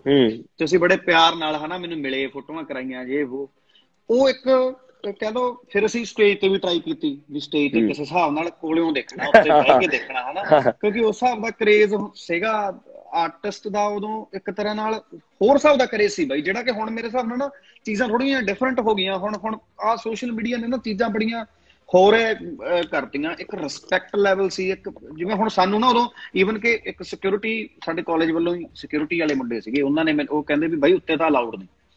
ਤੇ ਹਲੇ ਹਲੇ ਕਿ ਤੁਹਾਡੀ ਸਿਕਿਉਰਿਟੀ ਨੇ ਮੈਨੂੰ ਕੁਝ ਨਹੀਂ ਕਿਹਾ ਸਾਡੇ ਆਪ ਦੇ ਜਿਹੜੀ ਕਾਲਜ ਵਾਲੀ ਸਿਕਿਉਰਿਟੀ ਸੀ ਉਹ ਕਹਿੰਦਾ ਬਈ ਨਹੀਂ। ਉਹਨੇ ਸਾਨੂੰ ਥੱਲੇ ਕਹਿੰਦੇ ਵੀ ਥੱਲੇ ਜਾਓ ਵੀ ਕਾਕਾ ਜੀ ਇੱਥੇ ਸੈੱਟ ਨਹੀਂ ਆਉਣਾ। ਅਸੀਂ ਥੱਲੇ ਜਾ ਵੜੇ ਹਲਾ ਬੜਾ ਮੂਡ ਖਰਾਬ ਹਨਾ ਪਰ ਫਿਰ ਵੀ ਤੁਸੀਂ ਦੇਖੋ ਇੰਨਾ ਜ਼ਿਆਦਾ ਕਰੇਜ਼ ਸੀਗਾ ਵੀ ਮੋੜਨ ਦੇ ਬਾਵਜੂਦ ਵੀ ਅਸੀਂ ਐਨ ਪਿੱਛੇ ਖੜ ਕੇ ਸਾਰਾ ਤੁਹਾਡੀ ਪਰਫਾਰਮੈਂਸ ਇੰਜੋਏ ਕੀਤੀ ਫੁੱਲ ਕੂਕਾਂ ਮਾਰੀਆਂ ਫੁੱਲ ਨਜ਼ਾਰਾ ਹਨਾ? ਮਤਲਬ ਇੱਕ ਮੇਰੇ ਮੇਰੇ ਦਿਲ 'ਚ ਤੁਹਾਡੇ ਪ੍ਰਤੀ ਇੱਕ ਵਾਈਬ ਬੈਠ ਗਈ। ਹਾਂ। ਯਾਰ ਮੈਂ ਜਦੋਂ ਇਸ ਫੀਲਡ 'ਚ ਫਿਰ ਆਇਆ ਵੀ ਮੈਨੂੰ ਆਇਆ ਸੀ ਮੈਂ ਗਿੱਪੀ ਬਾਈ ਨੂੰ ਛੇਤੀ ਮਿਲਾਂ ਹਨਾ? ਗਾਣੇ ਬਾਈ ਨੂੰ ਸੁਣਾਵਾਂ ਉਹਦਾ ਮੈਟਰ ਸੁਣਾਵਾਂ। ਪਰ ਉਦੋਂ ਬਾਈ ਅੱਜ ਤੋਂ 10 ਸਾਲ ਪਿੱਛੇ ਚੱਲ ਜੀਏ ਮੈਨੂੰ ਇਹ ਲੱਗਦਾ ਕਿ ਆਰਟਿਸਟ ਦੀ ਜਿਹੜੀ ਕਰੇਜ਼ ਵੈਲਿਊ ਸੀਗਾ ਜਿਹੜੀ ਇੱਕ ਰਿਸਪੈਕਟ ਕਹਿ ਸਕਦੇ ਆ ਆਪਾਂ ਉਹ ਡਿਫਰੈਂਟ ਸੀਗਾ। ਹੁਣ ਵੀ ਹੈ ਕਰੇਜ਼ ਹੈ ਪਰ ਹੁਣ ਡਿਫਰੈਂਟ ਹੋ ਗਿਆ ਥੋੜਾ ਮੈਂ ਤੁਹਾਨੂੰ ਇੱਕ ਗੱਲ ਦੱਸਦਾ ਅਸੀਂ ਨਾ 2000 2000 ਚ ਮੇਰੀ ਪਹਿਲੀ ਐਲਬਮ ਆਈ। ਤੇ 2004 ਚਾਰ ਚ ਆ ਗਿਆ ਸੀ ਮਿੱਤਰਾਂ ਦੇ ਚਾਦਰ ਚ ਪਾ ਦੇ ਮੋਰ ਦੀ ਠੀਕ ਹੈ ਜੀ? ਪਰ ਕੰਮ ਨਹੀਂ ਸੀਗਾ। 2005 ਦੇ ਵਿੱਚ ਐਂਡ ਚ ਨਵੰਬਰ ਜੇ ਚ ਆਇਆ ਮੈਂ ਬੈਠੀ ਰਹਿੰਦੀ ਵੇ ਗਲੀ ਚ ਮੰਜਾ ਢਾ ਕੇ। ਠੀਕ ਹੈ? ਉਸ ਤੋਂ ਬਾਅਦ ਮੈਨੂੰ ਕੰਮ ਮਿਲਣਾ ਸ਼ੁਰੂ ਹੋ ਗਿਆ। ਉਸ ਤੋਂ ਬਾਅਦ ਸਿੱਧੀ ਐਲਬਮ ਆਈ ਉਹ ਜਦੋਂ ਚੀਰੇ ਵਾਲਿਆ ਵੇ ਅੱਖ ਲੜ ਗਈ ਕੱਤ ਦੀ ਨੇ ਪੂਣੀਆਂ ਵਿਚਾਲੇ ਛੱਡੀਆਂ ਹਨਾ? ਉਹਦੇ ਚ ਕਈ ਗਾਣੇ ਬਹੁਤ ਚੱਲੇ ਹਨਾ? ਤੇ ਉਹ ਐਲਬਮ ਤੋਂ ਬਾਅਦ ਮੇਰੇ ਕੋ ਦੜਾ ਦੜ ਕੰਮ ਹੋ ਗਿਆ ਜੀ ਠੀਕ ਹੈ? ਤੇ ਅਸੀਂ ਅੰਦਾ ਧੁੰਦ ਸ਼ੋਅ ਲਾਉਣ ਲੱਗੇ ਮਤਲਬ ਮਹੀਨੇ ਦੇ ਵਿੱਚ ਮਤਲਬ ਸੈਟਰਡੇ ਸੰਡੇ ਵਾਲੇ ਦਿਨ ਮੈਂ ਕਈ ਵਾਰੀ ਇਹ ਗੱਲ ਕਹਿਣਾ ਵੀ ਜੇ ਦੋ ਦੋ ਸ਼ੋਅ ਨਹੀਂ ਸੀ ਹੁੰਦੇ ਅਸੀਂ ਬੈਠ ਕੇ ਨਾ ਸ਼ਾਮ ਨੂੰ ਡਿਸਕਸ ਕਰਨ ਲੱਗ ਜਾਂਦੇ ਸੀ ਵੀ ਕਿਤੇ ਅਸੀਂ ਰੇਟ ਤਾਂ ਨਹੀਂ ਜ਼ਿਆਦਾ ਮੰਗਦੇ। ਵੀ ਯਾਰ ਤਿੰਨ ਹੀ ਸ਼ੋਅ ਇਹ ਚਾਰ ਹੋਣੇ ਚਾਹੀਦੇ ਆ। ਕਿਉਂਕਿ ਮਸਾਂ ਹੀ ਸਟਰਗਲ ਚੋਂ ਨਿਕਲੇ ਸੀ। ਮੇਰੀ ਸਟਰਗਲ ਵੀ ਬਹੁਤ ਜ਼ਿਆਦਾ ਸੀਗੀ। ਮੈਂ ਇਧਰੋਂ ਬੜੀਆਂ ਔਖੀਆਂ ਜੌਬਾਂ ਜੁਬਾਂ ਕਰਦਾ ਗਿਆ ਸੀਗਾ ਹਨਾ? ਤੇ ਪੈਸੇ ਚਾਹੀਦੇ ਹੁੰਦੇ ਸੀ। ਬਲੀਵ ਕਰਿਓ ਇੱਕ ਮੈਂ ਹੁੰਦਾ ਸੀ ਇੱਕ ਮੁੰਡਾ ਸਾਡੇ ਨਾਲ ਮੇਰਾ ਜਿਹੜਾ ਗੱਡੀ ਚਲਾਉਂਦਾ ਸੀ ਉਹ ਹੁੰਦਾ ਸੀ। ਬਈ ਅਸੀਂ ਦੋ ਜਾਣੇ ਪ੍ਰੋਗਰਾਮ ਤੇ ਜਾਣਾ ਪ੍ਰੋਗਰਾਮ ਲਾਉਣਾ ਭੰਗੜੇ ਪਾਉਣੇ ਦੋ ਦੋ ਪ੍ਰੋਗਰਾਮ ਦਿਹਾੜੀ ਚਲਾਉਣੇ ਜੇਬ 'ਚ ਪੈਸੇ ਵੀ ਹੋਣੇ ਗੱਡੀ ਕੋਲ ਪੈਸੇ ਵੀ ਹੋਣੇ ਕਈ ਵਾਰੀ ਕੈਸ਼ ਪੇਮੈਂਟ ਆਉਣੇ ਕਦੇ ਕੁਝ ਹੋਣਾ। ਸਾਰਾ ਕੁਝ ਅਸੀਂ ਕਰ ਕਰਾ ਕੇ ਅਸੀਂ ਘਰ ਨੂੰ ਮੁੜਨਾ ਰਾਤ ਨੂੰ। ਕਿਤੇ ਵੀ ਇੰਨੇ ਸਾਲਾਂ ਦੇ ਵਿੱਚ ਕੋਈ ਪ੍ਰੋਬਲਮ ਨਹੀਂ ਆਈ। ਉਸ ਤੋਂ ਬਾਅਦ ਹੌਲੀ ਹੌਲੀ ਕੀ ਹੁੰਦਾ ਗਿਆ ਇੱਕ ਸ਼ੋਸ਼ਾ ਵਧਣਾ ਸ਼ੁਰੂ ਹੋ ਗਿਆ ਆਫਟਰ ਥੈਟ ਠੀਕ ਹੈ। ਲੋਕਾਂ ਨੇ ਵੀ ਵਧਾ ਲਿਆ ਕਲਾਕਾਰਾਂ ਨੇ ਹੋਰ ਵਧਾ ਲਿਆ ਠੀਕ ਹੈ। ਵੀ ਯਾਰ ਫਲਾਣੇ ਨੇ ਫਲਾਣੇ ਕੋ ਗੱਡੀ ਕਿਹੜੀ ਆ? ਤੇ ਕੱਲਾ ਹੀ ਆ ਗਿਆ। ਸਿਕਿਉਰਿਟੀ ਗਾਰਡ ਨਹੀਂ ਹੈ ਠੀਕ ਹੈ। ਫਲਾਣਾ ਨਹੀਂ ਟਿਕਾਣਾ ਨਹੀਂ ਹੈ ਬਲੀਵ ਕਰੀ ਹੁਣ ਮੈਂ ਕਈ ਵਾਰੀ ਦੇਖਦਾ ਹਾਂ ਕਈ ਆਰਟਿਸਟ ਬਿਲਕੁਲ ਨਵੇਂ ਉਹਨਾਂ ਦਾ ਇੱਕ ਜਾਂ ਦੋ ਗਾਣਾ ਆਏ ਹੁੰਦੇ ਨੇ ਕੁਝ ਨਹੀਂ। ਫੋਰਚੂਨਰ ਗੱਡੀ ਤਾਂ ਆਮ ਹੋ ਗਈ ਵੀ ਫੋਰਚੂਨਰ ਗੱਡੀ ਚਾਹੀਦੀ ਆ। ਫੋਰਚੂਨਰ ਗੱਡੀ ਤੋਂ ਬਿਨਾ ਇੱਕ ਪੂਰਾ ਫਲੈਟ ਚਾਹੀਦਾ ਚੰਡੀਗੜ੍ਹ ਦੇ ਵਿੱਚ ਠੀਕ ਹੈ? ਦੋ ਚਾਰ ਬਾਉਂਸਰ ਚਾਹੀਦੇ ਆ। ਤੇ ਜੇ ਕਿਤੇ ਸ਼ੋਅ ਲਾਉਣ ਜਾਣਾ ਵਾ ਤਾਂ 10 20 ਬਾਉਂਸਰ ਠੀਕ ਆ? ਪਰ ਆ ਪਿਆ ਇਹ ਉਹ ਲਟਰ ਪਟਰ ਉਹ ਚੀਜ਼ਾਂ ਮਤਲਬ ਚੀਜ਼ਾਂ ਹੀ ਇੰਨੀਆਂ ਚੀਜ਼ ਹੋ ਗਈਆਂ ਹਨਾ? ਮਾਹੌਲ ਹੀ ਇੰਨੇ ਚੇਂਜ ਹੋ ਗਏ। ਉਹ ਜਿਹੜੇ ਉਹਨਾਂ ਦੇ ਨਾਲ 10 15 ਬਾਉਂਸਰ ਨੇ ਨਾ ਉਹ ਸਾਰੇ ਬਾਉਂਸਰ ਜਾਂ ਉਹ ਬੰਦੇ ਪਤਾ ਕਿਹੜੇ ਨੇ? ਜਿਹੜੇ ਤੁਹਾਡੇ ਨਾਲ ਵੈਸੇ ਨਹੀਂ ਹੈ ਤੁਸੀਂ ਪੈਸੇ ਦੇ ਕੇ ਖਰੀਦ ਕੇ ਲਾਏ ਹੋਏ ਨੇ। ਠੀਕ ਹੈ? ਉਹ ਤੁਹਾਡੇ ਲਈ ਉਨਾ ਹੀ ਸੋਚਦੇ ਆ। ਉਹ ਜੇ ਤੁਹਾਡਾ ਕੋਈ ਵੈਲ ਵਿਚਰ ਜਾਂ ਤੁਹਾਡੇ ਕੋਲੇ ਆਉਂਦਾ ਜਾਂ ਜਿਹਨੂੰ ਧੱਕੇ ਮਾਰਨੇ ਜਾਂ ਕੁਝ ਕਰਨੇ ਆ ਉਹ ਉਵੇਂ ਹੀ ਕਰਦੇ ਆ। ਸਾਡੇ ਨਾਲ ਵੀ ਹੁੰਦਾ। ਮੈਂ ਜਦੋਂ ਪਹਿਲਾਂ ਪਹਿਲਾਂ ਸ਼ੁਰੂ ਚੋਲ ਲਾਉਂਦਾ ਸੀ ਉਦੋਂ ਸਾਡੀ 50 ਗੁਣਾ ਵੱਧ ਰਿਸਪੈਕਟ ਮਿਲਦੀ ਸੀ। ਜਦੋਂ ਦਾ ਰਸ਼ ਪਿਆ ਵਾਲੇ ਦਾਲੇ ਤਾਂ ਇੱਜ਼ਤ ਘਟ ਜਾਂਦੀ ਹੈ ਤੁਹਾਡੀ। ਕਿਉਂਕਿ ਬੰਦਾ ਉਹਨੂੰ ਮਿਲਣਾ ਆ ਉਹਨੂੰ ਧੱਕੇ ਪੈਂਦੇ ਆ ਉਹਦਾ ਬੁਰਾ ਹਾਲ ਹੁੰਦਾ। ਬੰਦਾ ਕਹਿੰਦਾ ਯਾਰ ਅਸੀਂ ਇੰਨੇ ਪਿਆਰ ਨਾਲ ਆਏ ਆ ਅਸੀਂ ਫਲਾਣੀ ਚੀਜ਼ ਕਰਦੇ ਆ। ਸੋ ਡੇ ਬਾਈ ਡੇ ਨਾ ਜਿਹੜਾ ਸਿਸਟਮ ਬਣ ਗਿਆ ਆ ਇਹਨੇ ਬਹੁਤ ਚੀਜ਼ਾਂ ਖਰਾਬ ਕਰ ਦਿੱਤੀਆਂ ਬਹੁਤ ਜ਼ਿਆਦਾ ਚੀਜ਼ਾਂ। ਸੋ ਹਰ ਚੀਜ਼ ਲੋਕਾਂ ਦਾ ਦੇਖਣ ਦਾ ਨਜ਼ਰੀਆ ਲੋਕਾਂ ਦਾ ਗੱਲ ਕਹਿਣ ਦਾ ਨਜ਼ਰੀਆ ਹਰ ਚੀਜ਼ ਇੱਜ਼ਤ ਮਾਣ ਰਿਸਪੈਕਟ ਉਹ ਓਵਰਆਲ ਖੱਬੇ ਸਜੇ ਹੋ ਗਈ ਬਹੁਤ ਆਰਟਿਸਟ ਦੋਨੇ ਪਾਸੇ ਆਰਟਿਸਟ ਵਿਚਾਰਾ ਦੋਨੇ ਪਾਸੇ ਹੀ ਪਿਸ ਰਿਹਾ ਵੀ ਜੇ ਤਾਂ ਉਹ ਕੱਲਾ ਜਾਂਦਾ ਹੈ ਯਾਰ 네ਗੇਟਿਵ ਚੀਜ਼ ਦੀ ਤੈਨੂੰ ਮੈਂ ਗੱਲ ਦੱਸਦਾ 네ਗੇਟਿਵ ਚੀਜ਼ ਦੀ ਤੈਨੂੰ ਮੈਂ ਗੱਲ ਦੱਸਦਾ ਵੀ 네ਗੇਟਿਵ ਮੈਨੂੰ ਗੱਲ ਗੱਲ ਤੋਂ ਯਾਦ ਆ ਗਈ। ਪਿੱਛੇ 4 ਮਹੀਨੇ ਆਹ ਚੱਲਿਆ ਲੋਕਡਾਊਨ ਜਿਹੜਾ ਆਪਣੇ ਪੰਜਾਬ ਸੀ। ਮੈਂ ਘਰੇ ਕੱਪੜੇ ਲੀੜੇ ਮੁੱਕ ਗਏ ਸਾਰੇ ਕੱਪੜੇ ਧੋ ਧੋ ਬੁਰੇ ਹਾਲ ਹੋ ਗਏ। ਮੈਂ ਥੋੜੇ ਜਿਹਾ ਮੈਂ ਗਿਆ ਸੀ ਇੰਡੀਆ ਉਦੋਂ। ਆ ਤੇ ਇਧਰ ਨੂੰ ਆਏ ਸੀ ਕੈਨੇਡਾ ਸੀ ਕੋਈ ਸ਼ੂਟਿੰਗ ਕਰਨੀ ਸਾਰਾ ਕੁਝ ਇੱਥੇ ਪਿਆ ਸੀ। ਮੈਂ ਹਫ਼ਤੇ ਲਈ ਇੰਡੀਆ ਗਿਆ। ਮੈਂ ਕਿਹਾ ਮੈਂ ਕੰਮ ਨਿਬੇੜ ਕੇ ਵਾਪਸ ਮੁੜਿਆ ਹੁਣ ਵੀ ਫੇਰ ਪਤਾ ਨਹੀਂ ਕਿ ਜਾਣਾ। ਤੇ ਮੈਂ ਕੱਪੜੇ ਕੁਪੜੇ ਮੇਰੇ ਕੋਲ ਇੰਡੀਆ ਜ਼ਿਆਦਾ ਹੈ ਨਾ। ਚਲੋ ਜੀ ਲੋਕਡਾਊਨ ਚੱਲ ਪਿਆ। ਮੈਂ ਕਰਦੇ ਕਰਾਉਂਦੇ ਨੇ ਇੱਕ ਦਿਨ ਭਾਨੇ ਨੂੰ ਮਾਰਿਆ ਟੈਲੀਫੋਨ ਮੈਂ ਕਿਹਾ ਸ਼ਾਮ ਜੀ ਦੇ ਬੈਠੇ। ਮੈਂ ਕਿਹਾ ਯਾਰ ਭਾਨੇ ਵੀ ਉਹ ਸਟੋਰ ਸਟੂਰ ਮਾੜੇ ਮੋਟੇ ਕਹਿੰਦੇ ਖੁੱਲ ਗਏ ਵੀ ਕੋਈ ਕੱਪੜੇ ਲੀੜੇ ਲਿਆ ਦੇ। ਉਹ ਕਹਿੰਦਾ ਵੀ ਭਾਈ ਇੱਥੇ ਇੱਕ ਮੁੰਡਾ ਜਿਹਾ ਵੀ ਉਹ ਇੱਥੋਂ ਲਿਆ ਦਿੰਦਾ ਵੀ ਮਾਤੜ ਮਾਤੜ ਜੇ ਦੋ ਨੰਬਰ ਵਾਲੇ ਕੱਪੜੇ। ਤੇ ਕਹਿੰਦਾ ਵੀ ਤੁਸੀਂ ਤੁਹਾਨੂੰ ਲਿਆ ਕੇ ਦੇ ਦਿੰਨੇ ਆ ਵੀ ਤੁਸੀਂ ਇੱਥੇ ਲੋਕਲੀ ਪਾਉਣੇ ਆ। ਮੈਂ ਕਿਹਾ ਯਾਰ ਦੇ ਜਾ ਵੀ ਕੋਈ ਪ੍ਰੋਬਲਮ ਨਹੀਂ। ਉਹਨੇ ਮੈਨੂੰ ਲਿਆ ਕੇ ਨਾ ਚੀਜ਼ਾਂ ਫੜਾ ਕੱਪੜੇ ਦੇ ਗਿਆ 8-10 ਸ਼ਰਟਾਂ ਉਹ। ਮੈਂ ਸਵੇਰੇ ਸਵੇਰੇ ਉੱਠਿਆ ਆਫਿਸ ਨੂੰ ਜਾਣਾ ਸੀ। ਮੈਂ ਉਹਨੂੰ ਕਿਹਾ ਯਾਰ ਸ਼ਰਟਾਂ ਆਈਆਂ ਨੇ ਦੇ ਦੇ। ਮੈਂ ਸ਼ਰਟ ਪਾਈ ਬਾਹਰ ਨਿਕਲਿਆ ਫੋਟੋ ਖਿੱਚ ਕੇ ਨਾ ਇੰਸਟਾਗ੍ਰam ਤੇ ਪਾਤੀ ਉਹ ਕੋਈ ਵਰਸਾਚੇ ਦੀ ਨਕਲੀ ਜੀ ਸ਼ਰਟ ਸੀਗੀ ਕੋਈ। ਉਤੇ ਹੂੰ। ਵਰਸਾਚੇ ਕਿਤੇ ਲਿਖਿਆ ਹੋਇਆ ਸੀਗਾ ਕਿਤੇ ਕੋਈ ਹੋਰ ਪਤਾ ਨਹੀਂ ਸਪੈਲਿੰਗ ਗਲਤ ਸੀ ਪਤਾ ਨਹੀਂ ਸਾਲਾ ਕੀ ਸੀ। ਹੂੰ। ਉਹ ਨਕਲੀ ਸ਼ਰਟ ਵੀ 5-7000 ਦੀ ਸ਼ਰਟ ਵੇਚ ਰਿਹਾ ਸੀ ਬੰਦਾ ਜੀ ਤੋਂ ਲਈ ਸੀ ਇਹਨਾਂ ਨੇ ਕੁਝ ਹੂੰ। ਹਜ਼ਾਰ ਬੰਦੇ ਨੇ ਮੈਨੂੰ WhatsApp ਦੇ ਉੱਤੇ ਭੇਜ ਦਿੱਤੀ ਵੀ ਬਾਈ ਨਕਲੀ ਨਕਲੀ ਸ਼ਰਟ ਹੈ ਬਾਈ ਨਕਲੀ ਸ਼ਰਟ ਹੈ। ਉਹ ਮੈਂ ਕਿਹਾ ਯਾਰ ਇਹ ਤਾਂ ਨਕਲੀ ਵੀ 6-7000 ਦੀ ਹੈ। ਠੀਕ ਹੈ। ਵੀ ਮੈਂ ਤਾਂ ਸਲੀਆਂ ਪਾਈਆਂ ਨੇ 10-10 ਡਾਲਰ ਵਾਲੀਆਂ ਸ਼ਰਟਾਂ। ਠੀਕ ਹੈ। ਵੀ ਇਹ ਨਕਲੀ ਵੀ ਆ। ਸੋ ਇਹ ਜਿਹੜੀ ਇੱਕ ਮੈਂਟੈਲਿਟੀ ਆ ਬਲੀਵ ਕਰੀ ਉਹ ਤੇਰ ਹੂੰ। 8-9 ਸ਼ਰਟਾਂ ਮੈਨੂੰ ਦੇ ਕੇ ਗਏ। 8-9 ਦੀਆਂ 8-9 ਸ਼ਰਟਾਂ ਕੂੜੇ 'ਚ ਚਲੇ ਗਈਆਂ। ਠੀਕ ਹੈ? ਸਾਰੀ ਟੀਮ ਨੇ ਲਹਾਤੀਆਂ ਵੀ ਇਹ ਨਹੀਂ ਪਾਉਣੀਆਂ ਜੀ ਇਹ ਇਦਾਂ ਨੇ ਜੀ ਇਹ ਫਲਾਣਾ ਨੇ। ਚੀਜ਼ ਬ੍ਰਾਂਡ ਹੀ ਚਾਹੀਦਾ। ਚੀਜ਼ ਫਲਾਣਾ ਹੀ ਚਾਹੀਦਾ ਹਨਾ? ਸੋ ਮੈਂ ਹਜ਼ਾਰ ਵਾਰੀ ਇਹ ਆਪਣੀ ਇੰਟਰਵਿਊ 'ਚ ਪਹਿਲਾਂ ਵੀ ਗੱਲ ਕਹੀ ਆ ਮੈਨੂੰ ਕਈ ਵਾਰੀ ਬੰਦੇ ਪੁੱਛਦੇ ਆ ਵੀ ਤੂੰ ਕਿਹੜਾ ਬ੍ਰਾਂਡ ਪਾਉਣਾ? ਮੈਂ ਕਿਹਾ ਜੀ ਮੈਂ ਤਾਂ ਜਾਰਾ ਵੀ ਪਾਉਣਾ। ਹੁਣ ਸਾਰੀ। ਜਾਰਾ ਦੇ ਨਾਲੋਂ ਤਾਂ ਡੁਪਲੀਕੇਟ ਹੀ ਮਹਿੰਗੀ ਆ ਉਹ। ਠੀਕ ਹੈ। ਮੈਂ ਕਿਹਾ ਯਾਰ ਮੈਂ ਤਾਂ ਜਾਰਾ ਵੀ ਪਾਉਣਾ ਮੈਂ ਦੂਜੇ ਵੀ ਪਾਉਣਾ ਮੈਂ ਸਾਰੇ ਪਾਉਣਾ ਜਿਹੜੀ ਚੀਜ਼ ਤੁਹਾਨੂੰ ਵਧੀਆ ਲੱਗ। ਜਾਂਦੀ ਆ ਉਹ ਪਾ ਲੈਂਦੀ ਆ ਹਨਾ ਇਹਦੇ 'ਚ ਕੀ ਗੱਲ ਆ ਸੋ ਮੇਰਾ ਕਹਿਣ ਦਾ ਪਰਪਸ ਇਹ ਆ ਵੀ ਇੰਨਾ ਜ਼ਿਆਦਾ ਚੀਜ਼ ਉਹ ਕਰ ਦਿੱਤੀ ਆ ਆ ਜਿਹੜਾ। ਜਿਹੜਾ ਦੋ ਨੰਬਰ ਦਾ ਸਮਾਨ ਵੀ ਵਿਕਣ ਲੱਗਿਆ ਪੰਜਾਬ ਦੇ ਵਿੱਚ ਜਾਂ ਇਦਾਂ ਦੀਆਂ ਚੀਜ਼ਾਂ ਵਿਕਣ ਲੱਗੀਆਂ ਇਹ ਕਲਾਕਾਰਾਂ ਦੀ ਹੀ ਵਿਕਣ ਲੱਗੀਆਂ ਨੇ ਸਮਝ ਹੀ ਨਹੀਂ ਆਉਂਦਾ ਜੀ। ਦੋਨੇ ਪਾਸੇ। ਬੰਦਾ ਫਸ। ਰਿਹਾ ਦੋਨੇ। ਪਾਸੇ। ਔਰ ਪਤਾ ਕੀ ਮੈਂ ਇਹ ਗੱਲ ਕਹਿਣਾ ਵੀ ਆਪਣੇ ਆਪ ਨੂੰ ਆਪਾਂ ਨੂੰ ਆਰਟਿਸਟਾਂ ਨੂੰ ਵੀ ਇਹ ਚਾਹੀਦਾ ਵੀ ਆਪਾਂ ਥੋੜੇ ਟਰੂ ਹੋ ਕੇ ਚੱਲੀਏ ਜੇ ਥੋੜੇ ਜਿਹਾ ਟਰੂ ਆਪਾਂ ਹੋਵਾਂਗੇ ਤਾਂ ਡੈਫੀਨੇਟਲੀ ਇਹ ਆ ਵੀ ਦੇਖੋ ਸਾਰੇ ਤਾਂ ਨਹੀਂ ਹੋ ਸਕਦੇ ਪਰ 50 60% 70% ਬੰਦੇ ਟਰੂ ਵੀ ਹੋਣਗੇ। ਹੁਣ ਜਿਵੇਂ ਮੈਂ। ਅਰਦਾਸ ਵਾਲੀ ਗੱਲ ਕੀਤੀ ਸੀ ਵੀ ਅਰਦਾਸ ਨੂੰ ਵੀ ਦੋ ਚਾਰ ਬੰਦੇ ਕਿੰਤੂ ਪਰੰਤੂ ਕਰ ਦਿੰਦੇ ਸੀ ਬਟ 90% 95% ਤਾਂ ਚੰਗਾ ਹੀ ਬੋਲਦੇ ਸੀ। ਠੀਕ ਹੈ? ਸੋ ਚੰਗੇ। ਕੰਟੈਂਟ ਨੂੰ ਬੋਲਣਗੇ। ਸੋ ਉਹ ਚੀਜ਼ ਆਪਾਂ ਨੂੰ ਵੀ ਕਰਨੀ ਚਾਹੀਦੀ ਹੈ ਔਰ ਫਿਰ ਇੱਕ ਵਾਰੀ ਮੇਰੀ ਮੀਡੀਆ ਨੂੰ ਤੇ ਸਾਰੇ ਫੈਨਸ ਨੂੰ ਜਾਂ ਜਿੰਨੇ ਵੀ ਸੁਣ ਰਹੇ ਨੇ ਸਾਰਿਆਂ ਨੂੰ ਰਿਕੁਐਸਟ ਆ ਵੀ ਚੀਜ਼ਾਂ ਦਾ ਮੁੱਦਾ ਨਾ ਬਣਾਇਆ ਕਰੋ। ਔਰ ਫਿਰ ਹੋਰ ਨਾ ਮੀਡੀਆ ਵਾਲੇ ਹੋਰ ਕਈ ਵਾਰੀ ਕਰ ਲੈਂਦੇ ਨੇ। ਮੈਂ ਪਿੱਛੇ ਜੇ ਸੀਗਾ ਮੈਨੂੰ ਕਿਸੇ ਦੋ ਬੰਦਿਆਂ ਦੇ ਟੈਲੀਫੋਨ ਆਏ ਮੀਡੀਆ ਵਾਲਿਆਂ ਦੇ ਸਿਫਾਰਸ਼ਾਂ ਪਵਾ ਕੇ। ਕਹਿੰਦੇ ਭਾਜੀ ਤੁਹਾਡੀ ਇੰਟਰਵਿਊ ਚਾਹੀਦੀ ਆ। ਅਸੀਂ ਚਾਹੁੰਦੇ ਆ ਵੀ ਤੁਹਾਡੇ ਨਾਲ ਗੱਲ ਕਰਨੀ ਆ। ਆਹਾ ਸਿੱਧੂ ਤੇ ਬੱਬੂ ਮਾਨ ਦੇ ਮੁੱਦੇ ਤੇ। ਮੈਂ ਕਿਹਾ ਯਾਰ ਸ਼ਰਮ। ਕਰੋ। ਇਹ ਮੁੱਦਾ ਕੋਈ। ਗੱਲ ਕਰਨੇ ਵਾਲਾ। ਮੈਂ ਕਿਹਾ ਤੁਹਾਡਾ। ਫਰਜ਼ ਇਹ ਚਾਹੀਦਾ ਜੇ ਮੈਂ ਅਸਲੀ ਵੈਲਵਿਸ਼ਰ ਹੋਵਾਂ ਮੈਂ ਦੋਨਾਂ ਨੂੰ ਟੈਲੀਫੋਨ ਕਰਾਂ। ਮੈਂ ਕਹਾਂ ਵੀ ਭਰਾ ਛੱਡੋ ਪਰੇ ਗੱਲ ਯਾਰ ਐਵੇਂ ਲੋਕ ਆਲੇ ਦੁਆਲੇ ਜਲੂਸ ਕਰਦੇ ਆ। ਇਹਦੇ ਚ ਕੀ ਗੱਲ ਆ? ਤੁਸੀਂ ਦੋਨੇ ਘੈਂਟ ਹੋ ਘੈਂਟ ਗਾਉਂਦੇ ਹੋ? ਯਾਰ ਤੁਹਾਨੂੰ ਕੋਈ ਤੁਹਾਨੂੰ ਪ੍ਰੂਫ ਦੇਣ ਦੀ ਜ਼ਰੂਰਤ ਥੋਨਾ ਵਾ। ਠੀਕ ਹੂੰ। ਇੰਨੇ ਟਾਈਮ। ਤੋਂ ਬੱਬੂ ਮਾਨ ਗਾ ਰਹੇ ਨੇ ਨੇਰੀ ਠਾਲੀ ਆ ਬੱਬ-। ਸਿੱਧੂ ਨੂੰ 3 ਸਾਲ ਹੋਏ ਨੇ ਇਹਨੇ 3 ਸਾਲਾਂ 'ਚ ਇਹਨੇ ਰੀਠਾਲੀ ਆ ਠੀਕ ਹੂੰ ਦੋਨੇ ਘੈਂਟ। ਆਰਟਿਸਟ ਨੇ ਵੀ ਇਹ 'ਚ ਕਾਹਦਾ ਪ੍ਰੂਫ ਆ ਯਾਰ ਹਨਾ ਇਸ। ਚੀਜ਼ ਦੀ ਕੋਈ ਜਸਟੀਫਿਕੇਸ਼ਨ ਨਹੀਂ ਔਰ ਮੀਡੀਆ ਵਾਲੇ ਜਿਹੜੀਆਂ ਜਗ੍ਹਾ ਫੇਰ ਆਲੇ ਦਾਲੇ ਹੋਰ 5 10 20 ਵਿੱਚ ਪੈ ਜਾਂਦੇ ਨੇ ਜਿਹੜੇ ਆ ਨੈਗੇਟਿਵਿਟੀ ਉਹਦੇ ਹੀ ਗਾਣੇ- ਨੈਗੇਟਿਵਿਟੀ ਹੈ ਜੀ ਯਾਰ ਵਿੱਚ ਹੁਣ ਮੈਂ ਦੱਸਦਾ ਹੁਣ ਯਾਰ ਅੱਜ ਬੱਬੂ ਮਾਨ ਤੇ ਸਿੱਧੂ ਦੀ ਗੱਲ ਹੈ ਦੋਨੇ ਦੋਨਾਂ ਦਾ ਆਰਟਿਸਟਾਂ ਦਾ ਵੈਸੇ ਹੀ ਹਾਈਲਾਈਟਡ ਆਰਟਿਸਟ ਨੇ। ਹੂੰ। ਉਹਨਾਂ ਬਾਰੇ ਅੱਜ ਕੋਈ ਵੀ ਤੀਜਾ ਬੰਦਾ ਬੋਲੂਗਾ ਉਹੀ ਹਾਈਲਾਈਟਡ ਹੋਏਗਾ। ਹਾਂ ਉਹ ਐਵੇਂ ਕਈ ਵਿੱਚ ਹਨਾ ਅਹ, ਵਗਦੀ ਗੰਗਾ 'ਚ ਹੱਥ ਧੋਣ ਵਾਲੀ ਗੱਲ ਆ। ਮੈਂ ਤਾਂ ਬਸ ਇਹੀ ਕਹੂੰਗਾ ਬਾਈ ਵੀ ਸਭ ਨੂੰ ਆਪਦਾ ਫੈਨਸ ਵੀ ਨੇ end of the day media ਵੀ ਨੇ ਸਾਰਿਆਂ ਨੂੰ ਆਪਦਾ ਜਿਹੜਾ ਰੋਲ ਆ ਬਖੂਬੀ ਵਧੀਆ ਨਿਭਾਉਣਾ ਚਾਹੀਦਾ। ਐਕਚੁਅਲ ਜਰਨਲਿਜ਼ਮ ਜਿਹਦੇ ਲਈ ਬਣਿਆ ਤੇ ਐਕਚੁਅਲ ਫੈਨ ਬੇਸ ਜਿਹਦੇ ਲਈ ਬਣਿਆ। ਹਰ ਇੱਕ ਬੰਦਾ ਆਪਦੇ ਆਪਦੇ ਥਾਂ ਤੇ ਪੂਰਾ ਫੁੱਲ ਫਟੇ ਫੁੱਲ ਘੈਂਟ ਹੁੰਦਾ। ਹਰ ਇੱਕ ਬੰਦਾ ਆਪਦੇ ਕੋਈ ਬੰਦਾ ਹੋਰ ਨਹੀਂ ਤਾਂ ਆਪਦੇ ਪਰਿਵਾਰ ਲਈ ਤਾਂ ਉਹ ਬੰਦਾ ਹੀਰੋ ਹੀ ਆ। ਹੁਣ ਤੁਸੀਂ। ਬਈ ਕੰਮ ਕਰਦੇ ਹੋ ਤੁਸੀਂ ਆਪਦੇ ਪਰਿਵਾਰ ਦੇ ਤਾਂ ਜਸਨ ਬੀਵਰ ਹੀ ਹੋ। ਤੁਸੀਂ ਆਪਦੇ। ਪਰਿਵਾਰ ਲਈ ਤਾਂ ਤੁਸੀਂ ਮਤਲਬ ਸਭ ਕੁਝ ਹੀ ਹੋ ਹਨਾ? ਮਿਹਨਤ ਕਰਦੇ ਹੋ। ਆਪਾਂ ਹੁਣ ਕੰਮ ਕਰਦੇ ਆ ਇਕੱਠੇ। ਆਪਾਂ ਆਫਿਸ 'ਚ ਬੈਠਦੇ ਸੀਗੇ ਜਦੋਂ ਆਪਣੀ ਗੱਲਬਾਤ ਹੁੰਦੀ ਸੀ। 100 ਵਾਰ ਗੱਲ ਹੁੰਦੀ ਆ ਜਦੋਂ ਆਪਾਂ ਤੁਸੀਂ ਮੈਨੂੰ ਕਿਹਾ ਅੱਜ ਮੈਂ ਚਲੋ ਤੁਹਾਡੀ ਥਾਂ ਤੇ ਤੁਸੀਂ ਸ਼ਾਇਦ ਇਹ ਗੱਲ ਨਾ ਕਹਿ ਪਾਓ ਤੁਹਾਡੀ ਥਾਂ ਤੇ ਮੈਂ ਜ਼ਰੂਰ ਕਹਿਣਾ। ਕਿਸੇ ਵੀ ਜਿਹੜੇ ਹੋਰ ਆਰਟਿਸਟ ਨੇ ਜੋ ਮੂਵੀਜ਼ ਦੇ ਵਿੱਚ ਨੇ ਅਮਰਿੰਦਰ ਬਾਈ ਹੋਏ ਦਲਜੀਤ ਬਾਈ ਹੋਏ ਆਪਣਾ ਤਰਸੇਮ ਬਾਈ ਹੋ ਗਿਆ ਐਮੀ ਬਾਈ ਹੋ ਗਿਆ ਇੰਨੇ ਵਾਰ ਗੱਲਾਂ ਚੱਲੀਆਂ ਕਦੇ ਮਤਲਬ ਹੀ ਨਹੀਂ ਤੁਸੀਂ ਐਂ ਕਿਹਾ ਹੋਵੇ ਵੀ ਯਾਰ ਆ ਐਂ ਕਾ ਤੋਂ ਆ ਐਂ ਕਾ ਤੋਂ ਤੁਸੀਂ ਹਮੇਸ਼ਾ ਉਹੀ ਤਾਂ ਗੱਲ ਆ ਹਾਂ ਤੁਸੀਂ ਹਮੇਸ਼ਾ ਕਿਹਾ ਯਾਰ ਉਹ ਫਲਾਨੀ ਫਿਲਮ ਉਹਦੀ ਯਾਰ ਐਮੀ ਦੀ ਬਹੁਤ ਘੈਂਟ ਸੀ ਯਾਰ ਉਹ ਉਹਦੀ ਯਾਰ ਬਹੁਤ ਮੈਂ ਤੈਨੂੰ ਇੱਕ ਗੱਲ ਦੱਸਦਾ ਅਮਰਤ ਜਿਹੜਾ ਜਿਹੜਾ ਤੁੱਕਾ ਨਾ। ਤੁੱਕਾ ਤਾਂ ਕਿਸੇ ਦਾ ਇੱਕ ਵਾਰੀ ਲੱਗ ਜੂ ਯਾਰ। ਹਾਂ। ਤੇ ਤੈਨੂੰ 6 ਸਾਲ ਹੋ ਗਏ। ਤੇਰਾ 6 ਸਾਲਾਂ ਤੋਂ ਕਿਵੇਂ ਤੁੱਕਾ ਲੱਗੀ ਜਾਂਦਾ? ਸਾ ਮੈਨੂੰ ਤਾਂ 20 ਹੋ ਗਏ। ਹਾਂ। ਮੇਰਾ ਸਹੀ 20 ਸਾਲਾਂ ਤੋਂ ਤੁੱਕਾ ਲੱਗੀ ਜਾਂਦਾ। ਫਿਲਮ ਇੱਕ ਚੱਲ ਜੂ ਫਿਲਮ ਦੂਜੀ ਫਲॉप ਹੋ ਜੂ ਫਿਲਮ ਤੀਜੀ ਚੱਲ ਜੂ ਚੌਥੀ ਫਲॉप ਹੋ ਜੂ। ਸਲਾ ਐ ਕਿਵੇਂ ਹੋ ਜੂਗਾ ਵੀ ਸਾਰੀਆਂ ਫਿਲਮਾਂ ਤੁਹਾਡੀਆਂ ਠੀਕ ਚੱਲੀ ਜਾ ਰਹੀਆਂ ਔਰ ਤੁਹਾਨੂੰ ਲੋਕੀ ਪੈਸੇ ਦੇ ਜਾਂਦੇ ਆ ਤੁਸੀਂ ਕੰਮ ਕਰੀ ਜਾਂਦੇ ਐ ਕਿਵੇਂ? ਐ ਕਿਵੇਂ ਹੋ ਜੂ? ਐ ਕਿਵੇਂ ਤਾਂ ਹੋ ਹੀ ਨਹੀਂ ਸਕਦਾ। ਸੋ ਦੂਜੀ ਗੱਲ ਔਰ ਮੈਂ ਮੈਂ ਜੇ ਅੱਜ ਕਹਾ ਮੇਰੇ ਕਹਿਣ ਦੇ ਨਾਲ ਮੈਂ ਵੈਸੇ ਗੱਲ ਕਰਦਾ ਵੀ ਜਿਵੇਂ ਮੇਰੇ ਕਹਿਣ ਨਾਲ ਜੇ ਮੈਂ ਕਹਾ ਵੀ ਐਮੀ ਵਿਰਕ ਵਧੀਆ ਆਰਟਿਸਟ ਨਹੀਂ ਆ ਮੇਰੇ ਕਹਿਣ ਨਾਲ ਇਦਾਂ ਹੋ ਜਾਊਗਾ ਵੀ ਉਹ ਆਰਟਿਸਟ ਵਧੀਆ ਨਹੀਂ ਯਾਰ ਜਿਹੜੀਆਂ ਉਹਨੇ ਵਧੀਆ ਫਿਲਮਾਂ ਦਿੱਤੀਆਂ ਜਿਹੜਾ ਦਾ ਕੰਮ ਬੋਲਦਾ ਉਹ ਤਾਂ ਬੋਲਣਾ ਹੀ ਆ ਨਾ ਉਹ ਪੜਦੇ ਦੇਖਣਾ। ਉਹਦੇ ਨਾਲ ਮੈਂ ਚੀਜ਼ ਦੇਖੂਗੀ ਪਤਾ ਨਹੀਂ ਮੈਂ ਜਲਦਾ।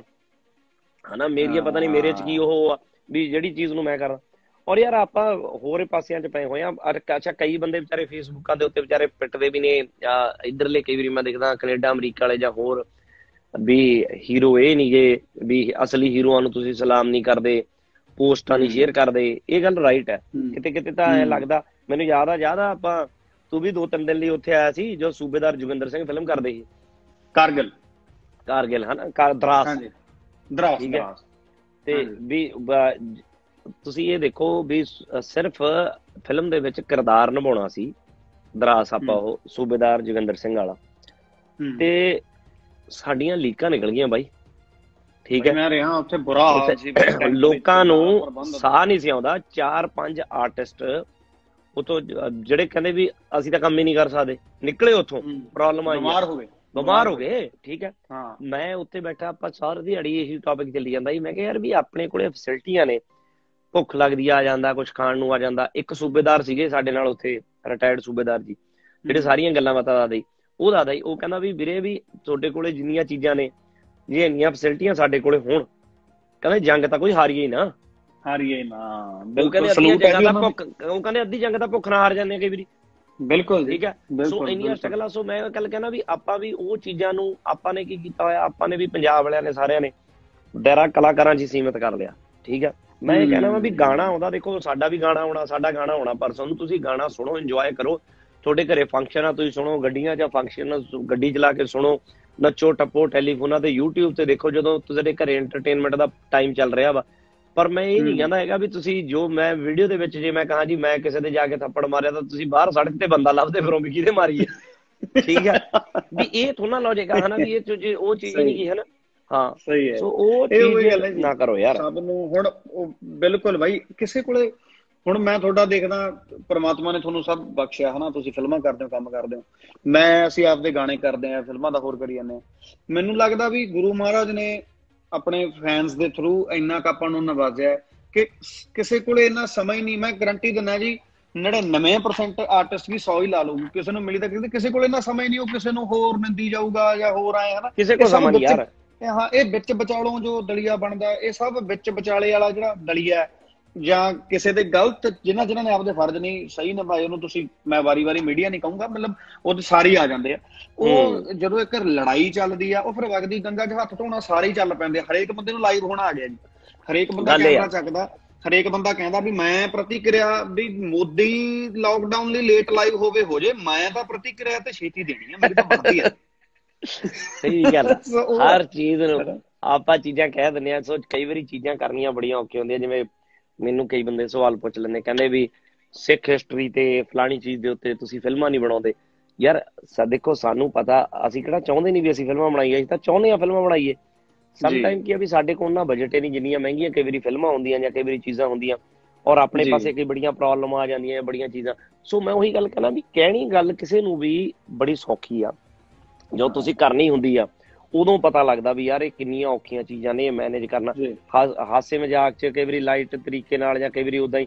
ਮੈਂ ਕਈ ਵਾਰੀ ਇੱਕ ਦਿਨ ਗੱਲ ਕਰੀ ਆਵਾਂ ਗਾਣਾ ਆਇਆ ਮੇਰਾ ਕੋਈ ਨਾ ਤੇ ਵਾਵਾ ਟਾਈਮ ਦੀ ਗੱਲ ਆ ਉਦੋਂ ਹਲੇ ਇੰਨਾ YouTube ਦਾ ਆਰਾਮ ਰੌਲਾ ਜਾਂ ਨਹੀਂ ਸੀ ਹੁੰਦਾ ਜਿਵੇਂ ਸ਼ੁਰੂ ਸ਼ੁਰੂ ਦੀਆਂ ਗੱਲਾਂ ਨੇ। ਤੇ ਉਹ ਗਾਣਾ ਆਇਆ ਤਾਂ ਜਿਵੇਂ ਲਾਈਕਸ ਜੇ ਆਏ ਜਿਵੇਂ ਹੁਣ ਜਿਵੇਂ ਹੁੰਦੇ ਨੇ ਵੀ ਇੰਨੇ ਹਜ਼ਾਰ ਲਾਈਕ ਆ ਗਿਆ ਹਨਾ ਵੀ ਉਹ ਲਾਈਕ ਹੋ ਗਏ। ਉਹ ਵਿੱਚ 7-800 ਬੰਦਾ ਹੈ ਜਿਹੜਾ ਡਿਸਲਾਈਕ ਜਿਹਨੇ ਕਰਤਾ ਹਨਾ। ਤੇ ਮੈਂ ਕਹਾ ਯਾਰ ਵੀ ਡਿਸਲਾਈਕ ਹੋ ਗਿਆ ਯਾਰ ਹਨਾ? ਤੇ ਉਹ ਮੁੰਡਾ ਜਿਹੜਾ ਮੇਰੇ ਕੋਲ ਬੈਠਾ ਸੋਸ਼ਲ ਮੀਡੀਆ ਵਾਲਾ ਉਹ ਹੱਸਣ ਲੱਗ ਗਿਆ। ਕਹਿੰਦਾ ਭਾਜੀ ਤੁਸੀਂ ਰੈਗੂਲਰ ਇਹਨੂੰ ਦੇਖਦੇ ਨਹੀਂ? ਮੈਂ ਕਹਾ ਨਹੀਂ। ਕਹਿੰਦਾ ਭਾਜੀ ਇਹ ਤਾਂ ਉਹ ਨੇ ਕਹਿੰਦਾ ਕਈ ਕਈ ਗੁਰਬਾਣੀ ਨੂੰ ਵੀ ਡਿਸਲਾਈਕ ਕੀਤੇ ਹੋਏ ਨੇ ਕਈਆਂ ਨੇ। ਮੈਂ ਜਦੋਂ ਕੱਢ ਕੇ ਦੇਖੇ ਮੈਂ ਹੈਰਾਨ ਮੈਂ ਕਿਹਾ ਯਾਰ ਇਹ ਬੰਦੇ ਕਿਹੜੇ ਨੇ? ਹਨਾ ਵੀ ਇਹ ਬੰਦੇ ਕੌਣ ਨੇ ਜਾਂ ਇਹਨਾਂ ਨੂੰ ਕੀ ਪ੍ਰੋਬਲਮ ਹੈ ਇਸ ਹਨਾ ਵੀ ਸਾਡੀ ਬਾਣੀ ਨਾਲ ਹੀ ਪ੍ਰੋਬਲਮ ਹੈ ਜਾਂ ਇਹ ਬੰਦੇ ਵੈਸੇ ਹੀ ਇਹ ਸੋਚ ਕੇ ਬੈਠੇ ਆ ਵੀ ਇਦਾਂ ਕਰਨਾ।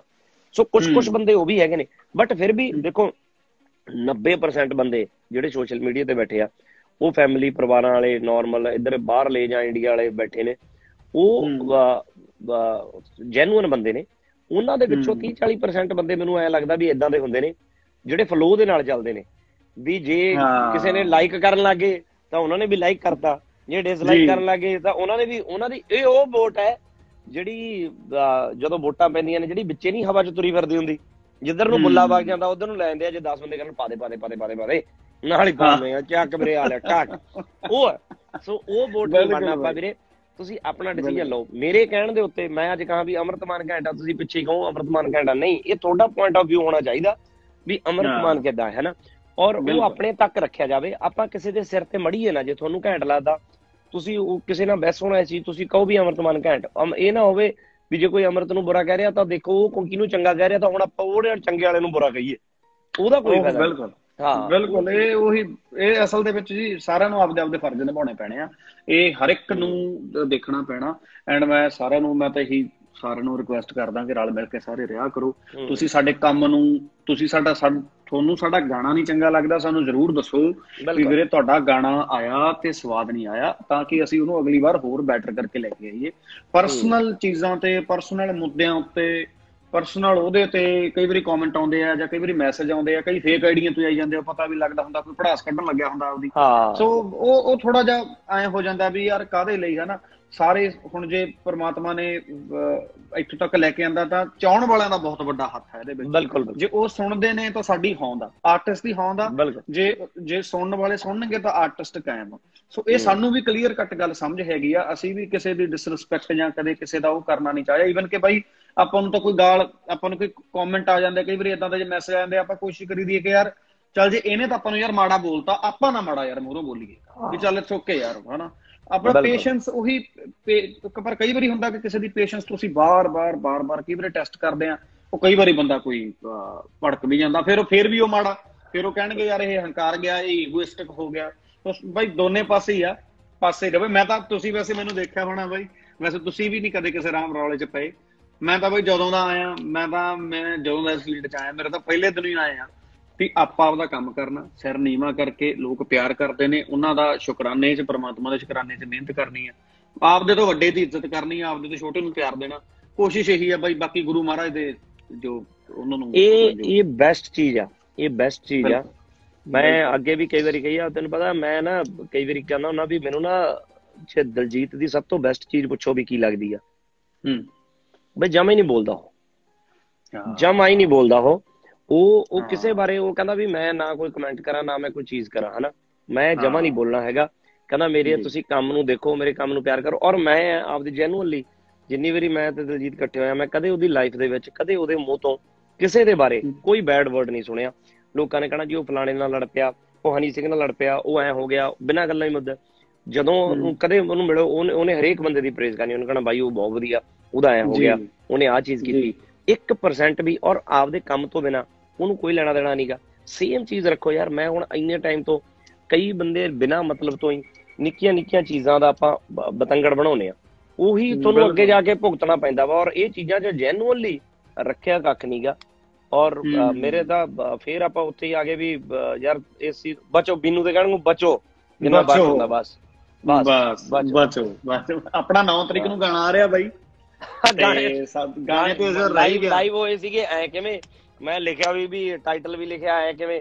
ਉਹ ਜਿਹੜਾ ਮੁੱਦਾ ਸੀ ਐ ਕਿਵੇਂ ਦਾ ਉਹ ਉਹ ਅੱਧਾ ਵਿਚਾਲਾ ਰਹਿ ਗਿਆ। ਵੀ ਗਾਣਾ ਪਰਸੋਂ ਨੂੰ ਆ ਰਿਹਾ ਐ ਕਿਵੇਂ? ਗਾਣਾ ਪਰਸੋਂ ਨੂੰ ਆ ਰਿਹਾ ਇਕੱਠਿਆਂ ਦਾ। And bye thank you so much ਕਿ ਜਦੋਂ ਅਸੀਂ ਤੁਹਾਨੂੰ ਸੁਣਦੇ ਰਹੇ ਆ ਕਦੇ ਮੇਰੇ ਲਈ ਇੱਕ ਅਚੀਵਮੈਂਟ ਆ ਕਿ ਆਪਾਂ ਚਲੋ ਇਕੱਠੇ ਗਾਣਾ ਕਰ ਰਹੇ ਆ ਐਂਡ ਤੁਹਾਨੂੰ ਕਾਲਜਾਂ ਚ ਕੀ ਵਿਆਹਾਂ ਚ ਕੀ ਤੁਹਾਡੇ ਗਾਣਿਆਂ ਤੇ ਬਹੁਤ ਭੰਗੜਾ ਪਾਇਆ। ਤੇ ਅੱਜ ਮੇਰੇ ਲਈ ਤਾਂ ਆਨਰ ਵਾਲੀ ਗੱਲ ਆ ਕਿ ਆਪਣਾ ਗਾਣਾ ਆ ਰਿਹਾ ਨਹੀਂ ਨਹੀਂ। ਔਰ ਗਾਣਾ ਟੱਚਵੁੱਡ ਮੈਂ ਐਵੇਂ ਦੱਸਾਂ ਕਿ ਮੈਨੂੰ ਅਮਰਤ ਨੇ ਕਿਹਾ ਵੀ ਬਾਈ ਟੇਪ ਕਰੀਏ ਆਪਾਂ ਤੇ ਗੀਤ ਕਰੀਏ ਘੈਂਟ। ਸੋ ਅਸੀਂ ਬੈਠੇ ਬੈਠੇ ਤੇ ਮੈਨੂੰ ਯਾਦ ਆ ਇਹ ਜਿਹੜਾ ਗੀਤ ਸੀਗਾ ਐ ਕਿਵੇਂ? ਅਮਰਤ ਨੇ ਸਿੰਗਲ ਕਰਨਾ ਸੀਗਾ ਆਪ। ਤੇ ਮੈਨੂੰ ਇਹਨੇ ਸਾਰੇ ਗੀਤ ਸੁਣਾਏ ਸਾਰੇ ਦੇ ਸਾਰੇ। ਤੇ ਬੰਬੀਹਾ ਬੋਲੇ ਵੀ ਉਦੋਂ ਹੀ ਸੁਣਿਆ ਸੀਗਾ ਹਨਾ? ਜੀ ਜੀ। ਕਹਿੰਦਾ ਵੀਰੇ ਬੰਬੀਹਾ ਬੋਲੇ ਅਸੀਂ ਕਿਉਂਕਿ ਸਿੱਧੂ ਦੀ ਵੋਕਲ ਵੀ ਮੈਂ ਨਾਲ ਹੀ ਸੁਣੀ ਸੀ। ਕਹਿੰਦਾ ਵੀ ਅਸੀਂ ਇਹ ਕਰ ਲਿਆ ਵੀ ਨਹੀਂ ਤਾਂ ਭਾਵੇਂ ਤੁਸੀਂ ਇਹ ਕਰ ਲੈਂਦੇ ਹਨਾ? ਤੇ ਸਾਰੇ ਗਾਣੇ ਉੱਥੇ ਸੁਣੇ ਤੇ ਫਿਰ ਉਹਨਾਂ ਚੋਂ ਗਾਣੇ ਛੰਟ ਗਏ ਤੇ ਪਹਿਲਾ ਟਾਈਟਲ ਜਿਹੜਾ ਸਾਡਾ ਗਾਣਾ ਆਇਆ ਕਿਵੇਂ ਤੇ ਉਹ ਉਦੋਂ ਫਿਰ ਫਾਈਨਲ ਕੀਤਾ ਫਿਰ ਉਹਨੂੰ ਦੁਬਾਰਾ ਤਰੀਕੇ ਨਾਲ ਹੋਰ ਉਹਦੇ ਚੀਜ਼ਾਂ ਨਵੀਆਂ ਐਲੀਮੈਂਟ ਪਾਏ ਮੇਰੇ ਹਿਸਾਬ ਨਾਲ ਚੀਜ਼ਾਂ ਪਾਈਆਂ। ਤੇ ਇਹਦੀ ਫੀਚਰਿੰਗ ਵਾਲਾ ਪਾਰਟ ਸਾਰਾ ਨਵਾਂ ਬਣਾਇਆ। ਸੋ ਬਹੁਤ ਵਧੀਆ ਗੀਤ ਹੈ। ਤੇ। ਮੈਨੂੰ ਲੱਗਦਾ ਵੀ ਸਾਰਿਆਂ ਨੂੰ ਵਧੀਆ ਲੱਗੂਗਾ ਔਰ ਟੱਚਵੁੱਡ ਇੱਕ ਗੁੱਡ ਕੰਬੀਨੇਸ਼ਨ ਬਣਿਆ ਆਡੀਓ ਜਿੰਨਾ ਘੈਂਟ ਸੀ ਵੀਡੀਓ ਵੀ ਉਨਾ ਘੈਂਟ ਬਣਿਆ ਸੋ ਸਾਰੀਆਂ। ਚੀਜ਼ਾਂ ਦਰੁਸਤ ਬਣੀਆਂ ਤੇ ਬਾਬਾ ਮਿਹਰ ਕਰੇ। ਪਰਸੋਂ ਨੂੰ ਗਾਣਾ ਆ ਰਿਹਾ ਤੇ ਸਭ ਨੂੰ ਵਧੀਆ ਲੱਗੂਗਾ ਔਰ ਗਾਣੇ।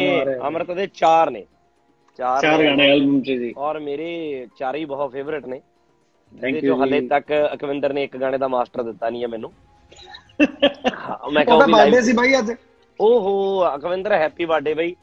ਹਾਂ ਹੈਪੀ ਬਰਥਡੇ ਆ। ਤੈਨੂੰ ਫਿਰ ਅੱਜ ਦਾ ਦਿਨ ਲਈ ਤੈਨੂੰ ਮਾਫ ਕੀਤਾ। ਤੇ ਹੈਪੀ ਬਰਥਡੇ ਆ। ਹਾਂ ਇਸ ਤੋਂ ਬਾਅਦ ਫਿਰ ਅਕਵਿੰਦਰ ਨਾਲ ਫੋਨ ਤੇ ਗੱਲ ਕੀਤੀ ਜਾਂਦੀ ਆ। ਫੇਰ ਨਿਬੜਿਆ ਜਾਊਗਾ। ਹਾਂ।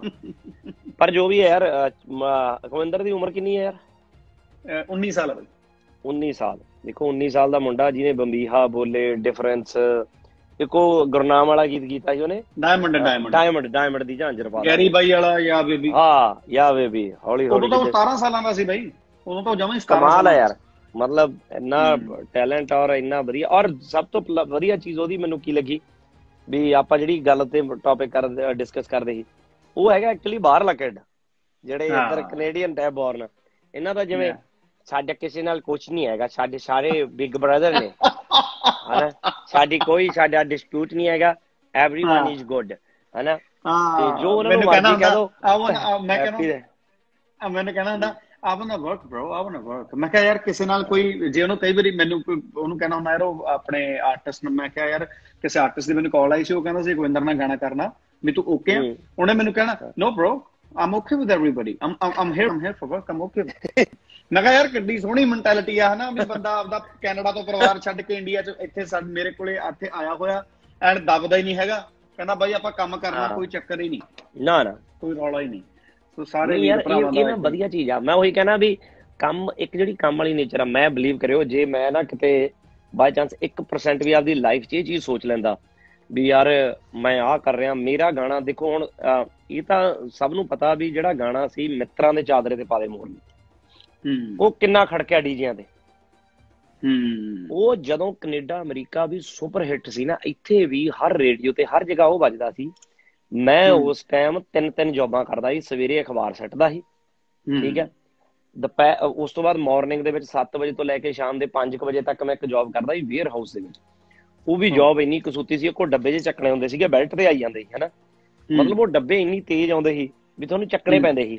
ਜੇ ਇੱਕ ਵੀ ਡੱਬਾ ਮਿਸ ਹੋ ਜਵੇ ਤਾਂ ਅੱਗੇ ਜਾ ਕੇ ਉਹ ਬੈਲਟ 'ਚ ਫਸ ਜਾਂਦਾ ਸੀ ਹਨਾ? ਜੇ ਢੂਈ ਢੂਈ ਢਾਈ ਤੇ ਖਾ ਜਾਣ ਲੱਗ ਜਾਂਦੀ ਸੀ ਨਾ ਹਾਂਜੀ। ਐ ਹੀ ਕਰ ਕਰਕੇ ਜੇ ਚਲਾਉਣਾ ਪੈਂਦਾ ਸੀ ਕੰਮ ਤੁਸੀਂ ਐ ਨਹੀਂ ਸੀ ਕਰ ਸਕਦੇ ਇਹਨੂੰ ਡੱਬਾ ਨਾ ਚਲਾਈ ਹਨਾ? ਡੱਬਾ ਲੱਗ ਸੱਤ ਜਾਂਦਾ ਸੱਤ ਉਹ ਕਰਕੇ ਉਸ ਤੋਂ ਬਾਅਦ ਮੈਂ ਘਰੇ ਆਉਂਦਾ ਸੀ ਘਰੇ ਆ ਕੇ ਰੋਟੀ ਪਾਣੀ ਖਾ ਕੇ ਫਿਰ ਇੱਕ ਇੱਥੇ ਮਾਲ ਹੁੰਦਾ ਸੀਗਾ ਆ। Crystal mall. ਉਹਦੇ ਚ ਰਾਤ। ਨੂੰ ਅਸੀਂ ਕਲੀਨਿੰਗ ਕਰ ਦਿੰਦੇ ਸੀਗੇ ਭਾਂਡੇ ਭੁੰਡੇ ਭਾਂਡੇ ਕਹਤਾ ਉਹ ਜਿਹੜੇ ਮੇਜ਼ ਮੂਝ ਜਿੱਥੇ ਫੂਡ ਕੋਰਟ ਚ ਹੁੰਦੇ ਨੇ ਉਹ ਸਾਰੇ ਕਰਨੇ। ਤੇ ਸਾਰੇ ਪੋਚੇ ਪਾਚੇ ਲਾਉਣੇ ਜੇ ਉਹ। ਉਹ ਇੰਨੀਆਂ ਜੌਬਾਂ ਮੈਂ ਕਰਦਾ ਸੀ ਮਿੱਤਰਾਂ ਦੇ ਚਾਦਰੇ ਤੇ ਪਾਦੇ ਮੋਰਨੀ ਸੁਪਰ ਹਿੱਟ ਸੀ।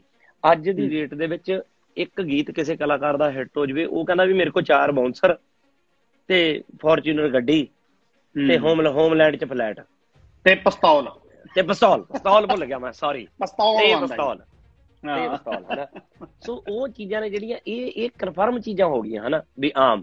ਠੀਕ ਹੈ ਸੋ ਮੈਂ ਉਹ ਗੱਲ ਕਹਤੀ ਵੀ ਜਿਵੇਂ ਵੀ ਇਹ ਪਤਾ ਨਹੀਂ ਕਿਉਂ ਇਹ ਚੀਜ਼ ਲੋਕਾਂ ਦੇ ਦਿਮਾਗ 'ਚ ਵੜ ਗਈ। ਹੁਣ ਜੇ ਮੈਂ ਉਦੋਂ ਇਹ ਚੀਜ਼ ਸੋਚ ਲੈਂਦਾ ਮੈਂ ਤਾਂ ਕਦੇ ਹਿੱਟ ਹੀ ਨਹੀਂ ਸੀ ਹੋ ਸਕਦਾ ਕਿਉਂਕਿ ਰੀਜ਼ਨ ਕੀ ਸੀ? ਮੇਰੇ ਕੋ ਗਾਣਾ ਭਾਵੇਂ ਮੇਰਾ ਹਿੱਟ ਸੀ ਪਰ ਮੇਰੇ ਕੋ ਸ਼ੋਅ ਨਹੀਂ ਸੀ। ਅਗਲੇ ਕਹਿੰਦੇ ਕਿ ਯਾਰ ਇੱਕ ਤਾਂ ਗਾਣਾ ਚੱਲਿਆ ਇਹਦਾ। ਹੁਣ ਇਹਨੂੰ ਵਿਆਹ ਦੇ ਪ੍ਰੋਗਰਾਮ ਤੇ ਸੱਦਾਂਗੇ ਕੀ ਕਰਾਵਾਂਗੇ ਹਨਾ? ਵੀ ਇਹਨੂੰ ਦੋ ਚਾਰ ਚੱਲਣ ਦੋ ਗੀਤ।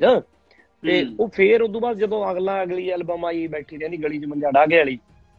ਉਹਦੇ ਦੋ ਚਾਰ ਗੀਤ ਚੱਲੇ ਫਿਰ ਚੱਲੇ ਫਿਰ ਸ਼ੋਆਂ ਦਾ ਦਗੜ ਦਗੜ ਹੋਈ ਚਲੋ ਸੋ ਮੈਨੂੰ ਐ ਲੱਗਦਾ ਵੀ ਕੰਮ ਕੋਈ ਵੀ ਵੱਡਾ ਛੋਟਾ ਨਹੀਂ। ਸੋ ਆਪਾਂ ਨੂੰ। ਕਰਨੇ ਚਾਹੀਦੇ ਨੇ। ਸੋ ਸਾਰੇ ਬੰਦੇ ਜਿੰਨੇ ਵੀ ਜਿਹੜੇ ਜਿਹੜੇ ਜਿਹੜੇ ਕੰਮਾਂ ਨੂੰ ਲੱਗੇ ਨੇ ਜਿਵੇਂ ਡੈਡੀਕੇਸ਼ਨ ਆ ਜਿਵੇਂ ਆਪਾਂ ਕਵਿੰਦਰ ਦੀ ਗੱਲ ਕੀਤੀ ਆ ਵੀ ਆਇਆ ਵਿਚਾਰਾ ਇੱਥੇ ਕੰਮ ਕਰਨ ਆਇਆ। ਉਹ ਕਹਿੰਦਾ ਵੀਰੇ ਜਦੋਂ। ਕੰਮ ਹੀ ਕਰਨਾ ਆ ਤੇ ਫਿਰ ਕਾਦੀ ਪ੍ਰੋਬਲਮ ਮੈਨੂੰ ਯਾਦ ਮੈਂ ਨਾ ਕੱਲ ਪਰਸੋਂ ਮੈਨੂੰ ਕਵਿੰਦਰ ਨੇ ਮਾਸਟਰ ਭੇਜਿਆ। ਹਾਂਜੀ। ਤੇ ਇੱਕ ਆਪਣੇ ਗਾਣੇ ਦਾ। ਤੇ ਉਹ। ਮੈਨੂੰ ਈਮੇਲ ਨਾ ਲੱਭੇ ਉਹਦੀ ਵੀ ਕਿੱਥੇ ਆ? ਮੈਂ ਉੱਪਰ। ਲਿਖਿਆ ਅਕਵਿੰਦਰ ਲਿਖ ਕੇ ਨਾ ਈਮੇਲਾਂ 'ਚ ਸਰਚ ਮਾਰੀ। ਇੱਕ। ਮੈਨੂੰ ਈਮੇਲ 2016 17 ਦੀ ਲੱਭ ਗਈ। ਮੈਂ ਜੀ। ਕਵਿੰਦਰ ਨਾਲ ਹਲ ਗੱਲ ਕਵਿੰਦਰ ਨੇ ਭੇਜ ਉੱਥੇ ਲਿਖਿਆ ਵੀ ਮੈਂ ਕਵਿੰਦਰ ਸਿੰਘ ਆ ਜੀ ਟ੍ਰਾਂਟੋ ਤੋਂ ਮਿਊਜ਼ਿਕ ਪ੍ਰੋਡਿਊਸਰ ਠੀਕ ਹੈ। ਕਹਿੰਦਾ ਭਾਜੀ ਵੀ ਮੈਂ ਹਲੇ ਆ ਉਹਨੇ ਨਵੇਂ ਨਵੇਂ ਜਿਹੇ ਗਾਣੇ ਦੋ ਚਾਰ ਕੀਤੇ ਸੀ ਹਲੇ ਹਨਾ? ਵੀ ਮੈਂ ਆ। ਕੀਤੇ ਆ ਵੀ ਮੈਂ ਤੁਹਾਡੇ ਨਾਲ। ਗਾਣਾ ਕਰਨਾ ਚਾਹੁੰਦਾ। ਠੀਕ ਹੈ ਹੂੰ। ਤੇ ਮੈਂ ਉਹ ਕਿਤੇ ਈਮੇਲ ਦੇਖੀ ਨਹੀਂ ਸੀ ਹੋਈ ਜੋ ਕਿ ਅਨਨੋਨ। ਸੀਗੀ ਜਿਵੇਂ ਉਦੋਂ ਤੇ ਮੈਂ ਹੁਣ। ਦੇਖੀ ਵੀ ਯਾਰ ਕਵਿੰਦਰ ਨੇ ਮੈਨੂੰ ਈਮੇਲ ਭੇਜੀ ਸੋ ਮੈਂ। ਉਹਨੂੰ ਫੋਨ ਕਰਕੇ ਇਹ ਗੱਲ ਕਹਿਣੀ ਸੀ ਵੀ ਦੇਖ ਤੂੰ ਮੈਨੂੰ ਈਮੇਲ ਭੇਜੀ ਸੀ ਇੰਨੇ ਸਾਲ ਹੂੰ ਤੂੰ ਆਪਦੀ ਤਰੱਕੀ ਦੇਖ ਵੀ ਤੂੰ ਮੇਰੇ ਤੋਂ ਕੰਮ ਮੰਗਦਾ ਸੀ ਤੇ ਮੈਂ ਤੇਰੇ ਕੋਲ ਖੁਦ ਆ ਗਿਆ ਵੀ ਮੇਰੇ ਗੀਤ ਬਣਾ ਦੇ ਹਾਂ ਹੈ? ਬਿਲਕੁਲ ਮਿਹ- ਮਿਹਨਤ ਦਾ ਮੁੱਲ ਤਾਂ ਪੈਂਦਾ ਟੈਲੈਂਟ ਹੈ ਮੈਂ ਕਿੰਨੀ। ਵਾਰੀ ਇਹ ਇੰਟਰਵਿਊ 'ਚ ਗੱਲ ਬੋਲੀ ਆ ਵੀ ਹਨੀ ਸਿੰਘ ਮੇਰੇ ਕੋਲੇ 5-6 ਵਾਰੀ ਆਇਆ ਗਾਣੇ ਬਣਾਉਣ ਲਈ। ਹਰ। ਵਾਰੀ ਕਿਉਂਕਿ ਉਹਦਾ 뮤직 ਬੜਾ ਡਿਫਰੈਂਟ ਸੀ ਤੇ ਮੇਰੇ ਮੈਂ ਸੀ ਦੇਸੀ ਕਲਾਕਾਰ। ਸਾਨੂੰ ਗੀਤ ਮੈਨੂੰ ਹਰ ਵਾਰੀ ਐ ਲੱਗਿਆ ਕਰੇ ਵੀ ਯਾਰ ਨਹੀਂ ਗੀਤ ਵੀ ਮੈਂ ਇਦਾਂ ਦੇ ਟਾਈਪ ਦਾ ਗੀਤ ਨਹੀਂ ਮੈਂ ਇਦਾਂ ਦੇ ਟਾਈਪ ਦਾ। ਉਹਨੇ ਮੈਨੂੰ ਪਤਾ ਹੀ ਕਿਹਾ ਕਹਿੰਦਾ ਭਾਜੀ। ਕੋਈ ਟੈਨਸ਼ਨ ਨਹੀਂ ਮੈਂ ਤੁਹਾਡੇ ਲਈ ਗੀਤ ਬਣਾਈ ਜਾਣੇ ਨੇ ਜਿੰਨੀ ਦੇਰ ਤੁਹਾਨੂੰ ਗੀਤ ਪਸੰਦ ਨਾ ਆਇਆ। ਕਹਿੰਦਾ ਮੇਰਾ ਪ੍ਰੋਮਿਸ ਆ ਤੁਹਾਡੀ ਲਾਈਫ ਦਾ ਸਭ ਤੋਂ ਬੜਾ ਗੀਤ ਬਣਾਉ ਕਿਆ ਬਾਤ। ਠੀਕ ਹੈ ਉਹਨੇ ਅੰਗਰੇਜ਼ੀ ਬੀਟ। ਬਣਾਤਾ ਠੀਕ ਹੈ। ਹੁਣ ਪਿਛਲੇ 4 ਮਹੀਨੇ ਤੋਂ 5 ਮਹੀਨੇ ਤੋਂ ਆਪਾਂ ਲੱਗੇ ਹੋਏ ਆ ਜਦੋਂ ਦੇ ਆਪਾਂ ਗਾਣਾ 5-6 ਮਹੀਨਿਆਂ ਤੋਂ। ਹਨੀ ਵੀ। ਉਦੋਂ ਦਾ ਗੀਤ ਬਣਾ ਰਿਹਾ ਠੀਕ ਹੈ। ਹੁਣ ਉਹਨੂੰ ਐ ਕਹਿੰਦਾ ਬਾਈ ਆਪਾਂ ਅੰਗਰੇਜ਼ੀ ਬੀਟ ਦਿੱਤਾ।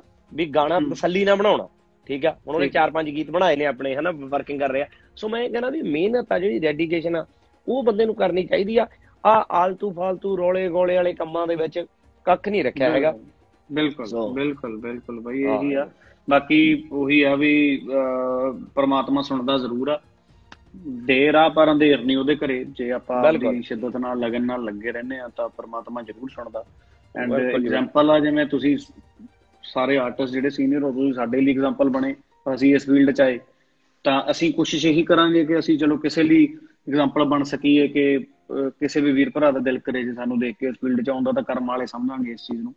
ਤੇ। ਬਾਕੀ ਆਪਣਾ ਐਂ ਕਿਵੇਂ ਆ ਰਿਹਾ ਪਰਸੋਂ 9 ਤਰੀਕ ਨੂੰ? 9 ਤਰੀਕ ਨੂੰ ਆ ਜਾਣਾ ਐ ਕਿਵੇਂ ਤੇ ਗਾਹ ਪੈਣਾ ਤੇ 9 ਤਰੀਕ ਤੋਂ ਬਾਅਦ ਫਿਰ ਆਪਾਂ ਅਪਡੇਟ ਦਿੰਨੇ ਆ ਦੁਬਾਰਾ। ਤੇ ਜੀ। ਕੋਈ ਕਿੰਤੂ ਪ੍ਰੰਤੂ ਹੋਇਆ ਜੇ ਕਿਸੇ ਨੂੰ ਸਾਡੀ ਕੋਈ ਗੱਲ ਵੀ ਮੇਰੀ ਕਿਸੇ ਕੋਈ ਵੀ ਗੱਲ ਚੁਭੀ ਤਾਂ ਤੁਸੀਂ ਅਮਰਤ ਦੇ ਪੇਜ ਤੇ ਜਾ ਕੇ ਅਮਰਤ ਨੂੰ ਗਾਲ ਕੱਢ ਸਕਦੇ ਹੋ।